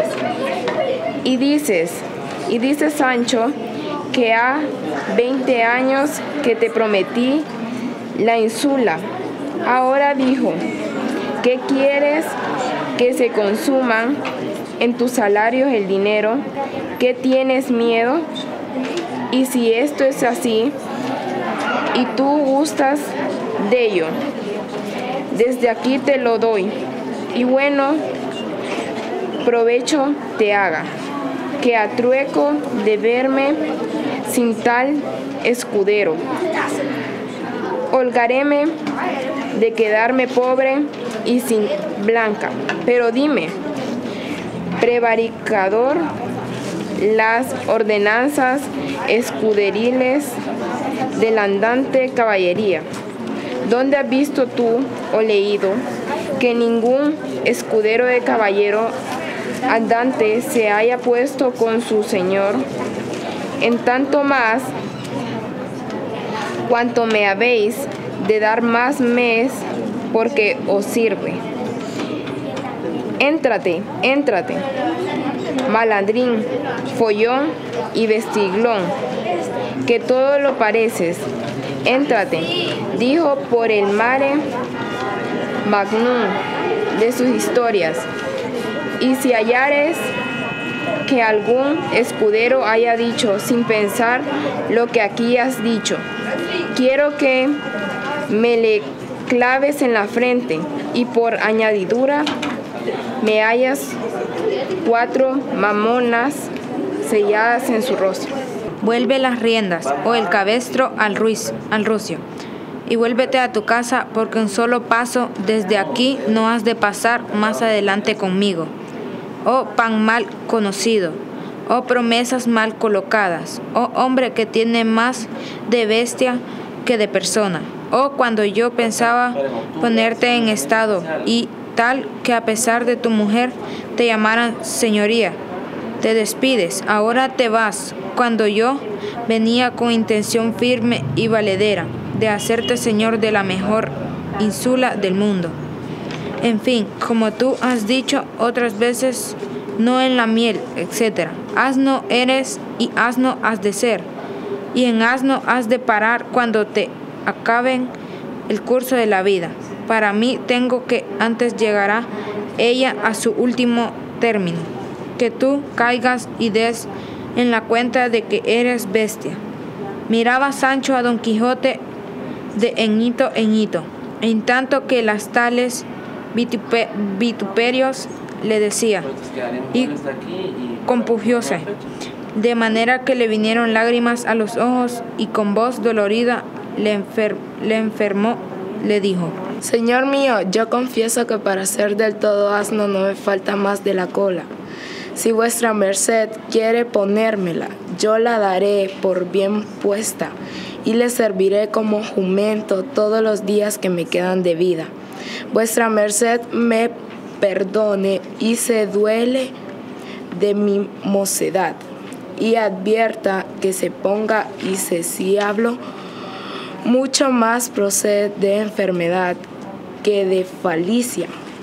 Mas quien, ye, quien yerra y se enmiende a Dios, se encomienda. Maravilló, maravillará más yo, Sancho, si no mezclará algún refrancio en tu colonia. Ahora bien, yo te perdono con que te enmiendes y con que no te muestres de aquí adelante de tu amigo de tu interés, sino que procures ensanchar el corazón y te alientes y ánime. Fol 110b a esperar el cumplimiento de mis promesas, que aunque se tarda, no se imposibilita. Sancho Panza respondió que sí haría aunque sacase fuerza de flaqueza. Con esto se metieron en la alameda y Don Quijote se acomodó al pie de un olmo y Sancho al de una haya. Que estos tales árboles y otros sus semejantes siempre tienen pies y no manos. Sancho pasó la noche penosamente porque el varapalo se hacía más sentir con el sereno. Don Quijote la pasó en su continuas memorias pero con todo eso dieron los ojos al sueño y al salir del alba siguieron su camino buscando las riberas del famoso Ebro, donde le sucedió lo que se contara en el capítulo venidero. Capítulo 29 de la famosa aventura del barco encantado.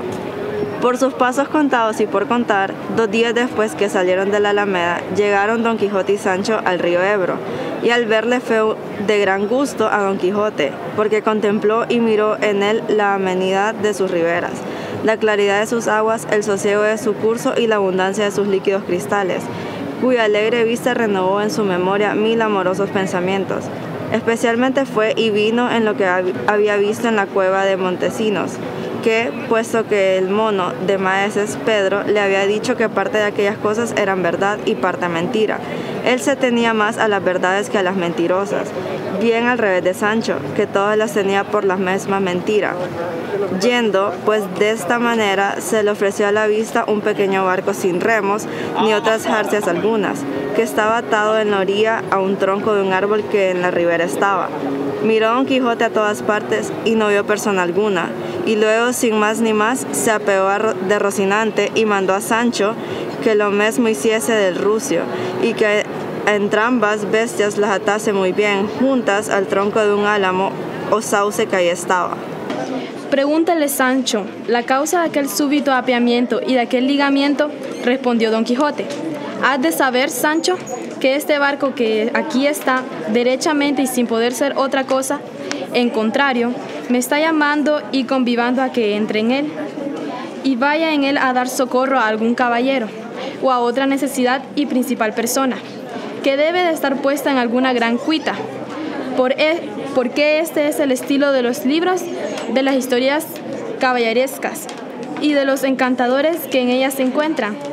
Y platican, cuando algún caballero está puesto algún trabajo que no puede ser librado de él sino por la mano del otro caballero, puesto que estén distintas el uno del otro, dos dos o tres mil lenguas y aún más, o le arrebatan en una nube o le deparan un barco donde se entre, y en menos de un abrir y cerrar de ojos lo llevan o por los aires o por la mar, donde quieran y donde es menester su ayuda. Así que, oh Sancho, este barco está puesto aquí para el mismo efecto, y esto es verdad como es hora de día. Y antes que esto se pase, ata juntos al rocío y Rocinante y la mano de Dios que nos guía, que nos dejaré de embarcarme si me lo pidiesen frailes descalzos. Pues así es, respondió Sancho, y vuestra merced quiere dar a cada paso en estos que no sé si los llame disparates. No hay sino obedecer y bajar la cabeza, atendiendo el refrán, haz lo que tu amo te mande y siéntate con él a la mesa. Pero con todo eso, con todo esto, por lo que toca al descargo de mi conciencia, quiero advertir a vuestra merced que a mí me parece que este tal barco no es de los encantados, sino de algunos pescadores de, de este río, porque en él se pescan los mejores sabogas del mundo. Esto decía mientras estaba las esto, esto decía mientras ataba las bestias. Sancho, dejándolas a la protección y amparo de los encantadores, con harto dolor de su ánimo. Don Quijote le dijo que no tuviese pena del desamparo de aquellos animales, que él que los llevaría a ellos por tan lógico, longicuos caminos y regiones tendría cuenta de sus tentarlos.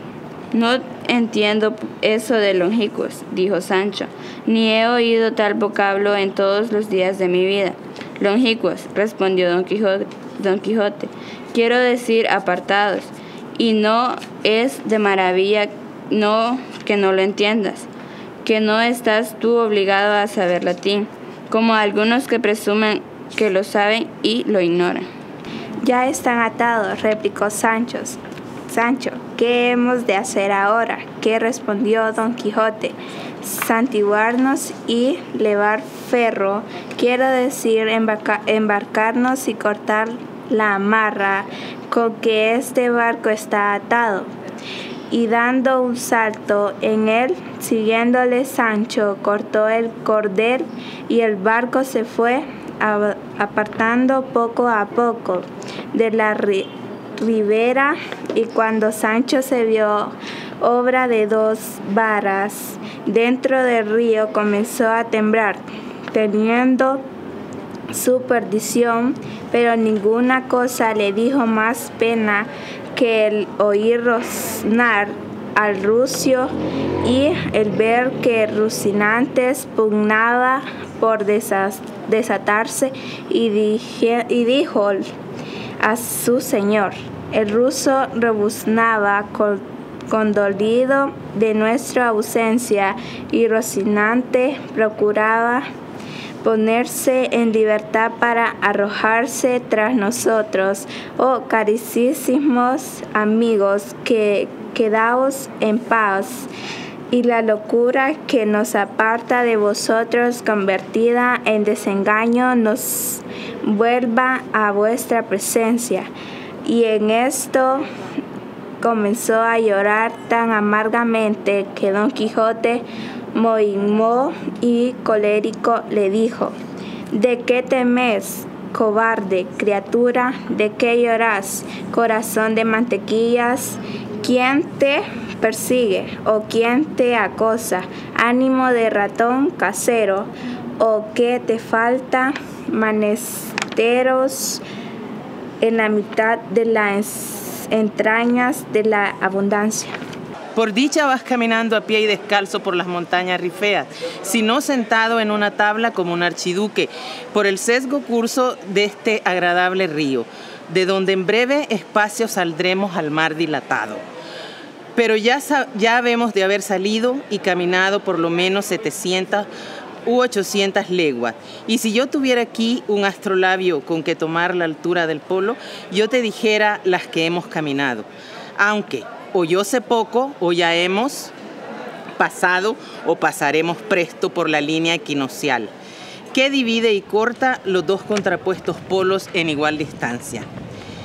Y cuando lleguemos a esa leña que vuestra merced dice, preguntó Sancho, ¿cuánto habremos caminado?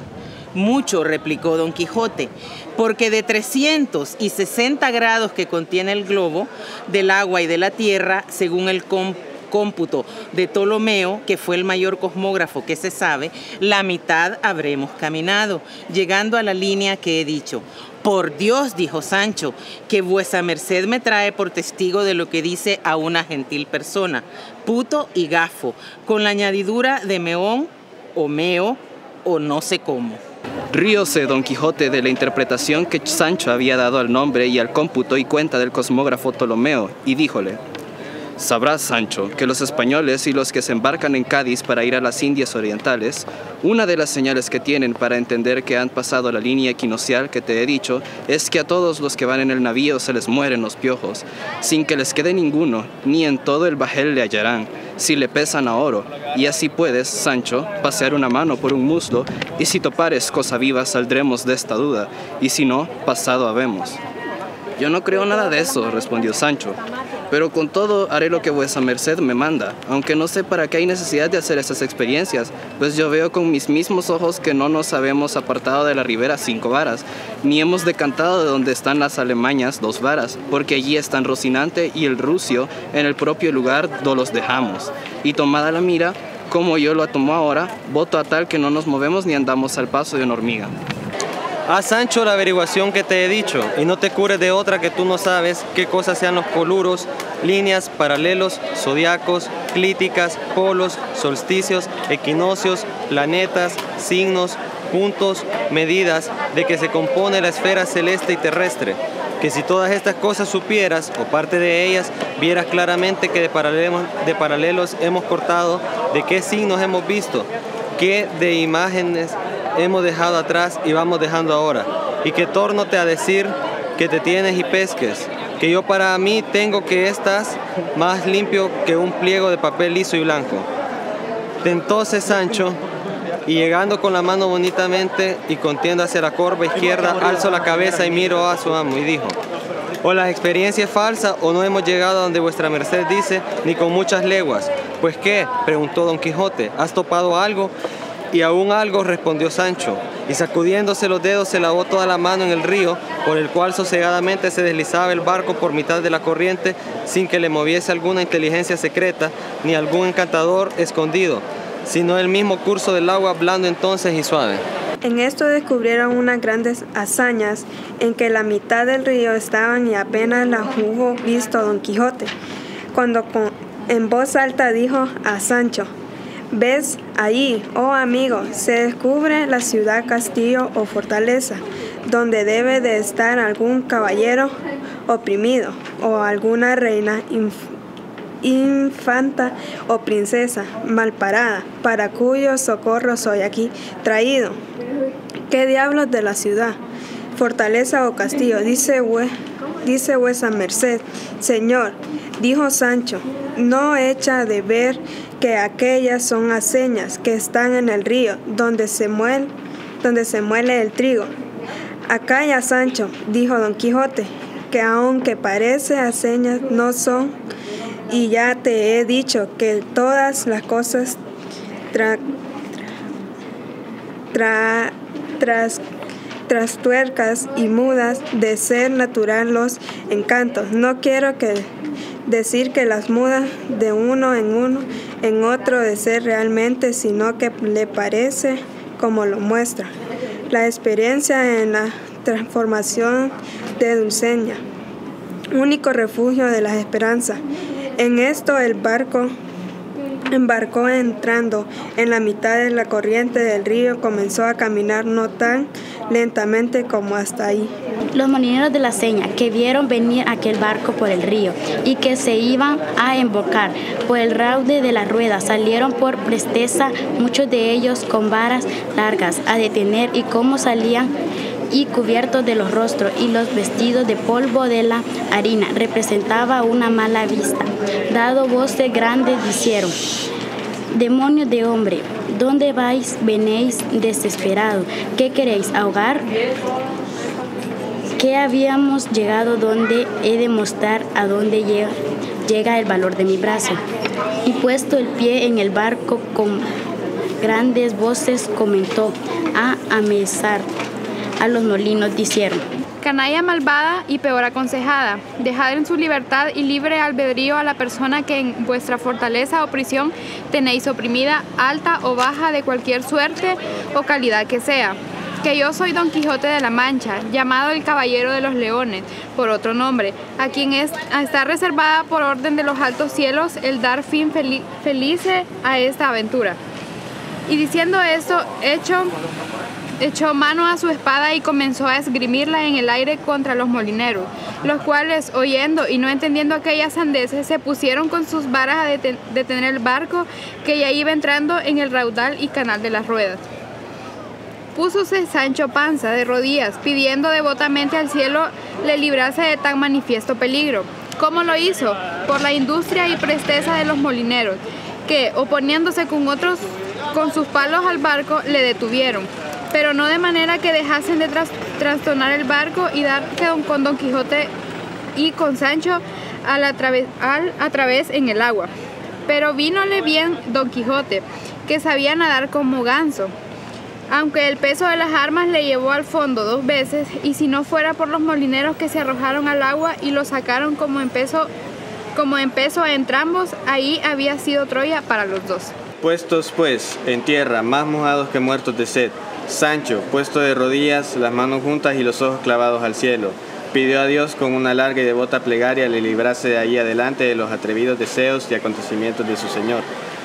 Llegaron en esto los pescadores dueños del barco, a quien habían hecho pedazos las ruedas de las aceñas, y, viéndole roto, acometieron a desnudar a Sancho y a pedir a Don Quijote se lo pagase, el cual, con gran sosiego, como si no hubiera pasado nada por él, dijo a los molineros y pescadores que él pagaría el barco de buenísima gana, con condición que le diesen libre y sin cautela a la persona o personas que en aquel su castillo estaban oprimidas. ¿Qué personas o qué castillo? dice, respondió uno de los molineros, hombre sin juicio, ¿Quieres te llevar por ventura las que vienen a moler trigo a estas aceñas? Basta, dijo entre sí don Quijote, aquí será predicar en desierto querer reducir a esta canalla, a que por ruegos haga virtud alguna, y en esta aventura se deben de haber, de haber encontrado dos valientes encantadores, y el uno estorba lo que el otro intenta. El uno me deparó el barco y el otro dio conmigo al través. Dios lo remedie, que todo este mundo es máquinas y tazas, contrarías unas de otras. Yo no puedo más. Y alzando la voz, prosiguió diciendo y mirando a las señas, amigos, cualesquiera que seáis, eh, que en esa prisión quedéis encerrados, perdonadme, que por mi desgracia y por la vuestra, yo no os puedo sacar la vuestra cuita.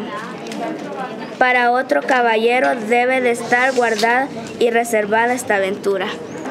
En diciendo esto, se concertó con los pescadores y pagó por el barco 50 reales, que los dio Sancho de muy mala gana, diciendo, a dos barcadas como estas daremos con todo el caudal al fondo. Los pescadores y molineros estaban admirados, mirando a aquellas dos figuras tan fuera del uso, al parecer, de los otros hombres, y no acababan de entender a dónde se encaminaban las razones y preguntas que don Quijote les decía, y teniéndolos por locos, les dejaron y se les recogieron a sus hazañas, y los pescadores a sus ranchos, volvieron a sus bestias y a hacer bestias, don Quijote y Sancho, y este fin tuvo la aventura del encantado barco. Capítulo 30 de lo que le avino a Don Quijote con una bella cazadora. Asaz melancólicos y de mal talante llegaron a sus animales caballero y escudero, especialmente Sancho, a quien llegaba al alma llegar al caudal del dinero, pareciéndole que todo lo que de él se quitaba era quitárselo a él de las niñas de sus ojos. Finalmente, sin hablarse palabra, se pusieron a caballo y se apartaron del famoso río Don Quijote sepultado en los pensamientos de sus amores y Sancho en los de su acrecentamiento, que por entonces le parecía que estaba bien lejos de tenerle, porque Maguer era tonto, bien se le alcanzaba que las acciones de su amo, todas y las más, eran disparates y buscaba ocasión de que, sin entrar en cuentas ni en despedimientos con su señor, un día se desgarrase y se fuese a casa. Pero la fortuna ordenó las cosas muy al revés de lo que él temía. Sucedió pues que otro día, al ponerse del sol y al salir de una selva, tendió don Quijote la vista por un verde prado, y en lo último de él vio gente y, llegándose cerca, conoció que eran cazadores de altanería. Llegóse más y entre ellos vio una gallarda señora sobre un palafrén o blanquísima, adornada de guarniciones verdes y con un sillón de plata. Venía la señora a sí misma vestida de verde, tan bizarra y ricamente que la misma bizarría venía transformada en ella. En la mano izquierda traía un azor, señal que dio a entender a don Quijote ser aquella alguna gran señora, que debía serlo de todos aquellos cazadores, como era la verdad, y así dijo a Sancho, Corre, hijo Sancho, y di a aquella señora del palafrén y del azor que yo, el caballero de los leones, besa las manos a su gran fermosura, y que si su grandeza me da licencia, se las iré a besar, y a servirla en cuanto a mis fuerzas pudieren y su Alteza me mandare. Y mira, Sancho, cómo hablas, y ten en cuenta de no encajar algún refrán de los tuyos en tu embajada. Hallado os, lo habéis el encajador, respondió Sancho, a mí con eso. Si, con e, si no es con esta la primera vez que he llevado embajadas a altas y crecidas señoras en esta vida. Si no fue la que llevaste a la señora Dulcinea, replicó don Quijote, yo no sé que hayas llevado otra, a lo menos en mi poder. Así es verdad, respondió Sancho. pero al buen pagador no le duelen prendas, y en casa llena presta se guisa la cena. Quiero decir que a mí no hay que decirme ni advertirme de nada, que para todo tengo y de todo se me alcanza un poco. Yo lo creo, Sancho, dijo Don Quijote. Ve en buena hora y Dios te guíe. Partió Sancho de carrera, sacando de su paso al rucio, y llegó donde la bella cazadora estaba, y apeándose, puesto ante ella de hinojos, le dijo, Hermosa señora, aquel caballero que ahí se parece, llamado el Caballero de los Leones, es mi amo, y yo soy su escudero y, yo soy un escudero suyo, a quien llama en su casa Sancho Panza. Está el caballero de los leones, que no ha mucho que se llama el de la triste figura. Envía por mí a decir a vuestra grandeza, sea servida de darle licencia para que, con su propósito, propósito y beneplácito, y beneplácito y consentimiento, él venga a poner en su hora su deseo, que no es otro, según dice, y yo pienso, que de servir a vuestra encumbrada altanería y fermosura, que en dársela vuestra señoría hará cosa que redunde en su pro, y él servirá señaladísima merced y contento. Por cierto, buen escudero, respondió la señora, vos habéis dado la embajada vuestra con todas aquellas circunstancias que las tales embajadas piden. Levantaos del suelo que escudero de tan gran caballero como es el de la triste figura, de quien ya tenemos acá mucha noticia, no es justo que esté de hinojo. Levantaos, amigo, y decid a vuestro señor que venga mucho enhorabuena a servirse de mí y del duque mi marido, en una casa de placer que aquí tenemos. Levantóse Sancho admirado, así de la hermosura de la buena señora como de su mucha crianza y cortesía y más de lo que le había dicho que tenía noticia de su señor el caballero de la triste figura, y que si no le había llamado el de los leones, debía de ser por habérsele puesto tan nuevamente. Preguntóle la duquesa, cuyo título aún no se sabe, Decidme, hermano escudero, este vuestro señor no es uno de, quien anda impresa una historia que se llama del ingenioso hidalgo Don Quijote de la Mancha, que tiene por señora de su alma a una tal Dulcinea del Toboso. El mismo es, señora, respondió Sancho, y aquel escudero suyo que anda o debe de andar en la historia, a quien llaman Sancho Panza, soy yo, si no es que me trocaron en la cuna, quiero decir, que me trocaron en la estampa. De todo eso me huelgo yo mucho, dijo la duquesa. Id, hermano Panza, y decida vuestro señor que Él sea bien llegado y el bienvenido a mis estados, y que ninguna cosa me pudiera venir más contento que me diera. Sancho, con esta tan agradable respuesta, con grandísimo gusto, volvió a su amo, a quien contó todo lo que la gran señora le había dicho, levantando con sus rústicos términos a los cielos su mucha hermosura, su gran donaire y cortesía. Don, Don Quijote se gallardió en la silla Púsose bien a los estribos, acomodándose la víscera, arrematió a Rocinante y con gentil de nuevo fue a besar las manos a la duquesa, la cual haciendo llamar el duque, su marido, le contó en todo que Don Quijote llegaba, toda la embajada suya y los dos por haber leído la primera parte de esta historia y haber entendido por ella la el disparatado humor de Don Quijote. Con grandísimo gusto y con deseo de conocerle, le atendían, con propuesta de seguir el humor y conceder con él cuando les dijese, tratándole como a caballero andante los días que con ellos detuviesen, con todas las ceremonias acostumbradas en los libros de caballería que ellos habían leído y aún les eran muy aficionados. En esto llegó don Quijote, alzada la visera y dando muestras de apearse, acudió a Sancho a tenerle el estribo, pero fue tan desgraciado que al apearse del rucio se le asió un pie en una soga de la albarda, de tal modo que no fue posible desenredarle. Antes quedó colgado de él, con la boca y los pechos en el suelo. Don Quijote, que no tenía en costumbre apearse sin que le tuviesen el estribo, pensando que ya Sancho había llegado a tenérsele, descargó de golpe el cuerpo y llevóse tras sí la silla de Rocinante, que debía estar tan mal cinchado, y la silla y él se vinieron al suelo. no sin vergüenza suya y de muchas maldiciones, que entre dientes echó al desdichado, al desdichado Sancho, que aún todavía tenía el pie en la corma. El duque mandó a sus cazadores que acudiesen al caballero y al escudero, los cuales levantaron a Don Quijote maltrecho de la caída, y él, rinqueando y como pudo, fue a hincar de rodillas ante los, ante los dos señores. Pero el duque no lo consintió en ninguna manera. Antes, apeándose de su caballo, fue a abrazar a Don Quijote diciéndole, a mí me pesa, señor caballero de triste figura, que la primera que vuesa merced ha hecho en mi tierra haya sido tan mala como se ha visto, pero descuidos de escuderos suelen ser causa de otros peores sucesos.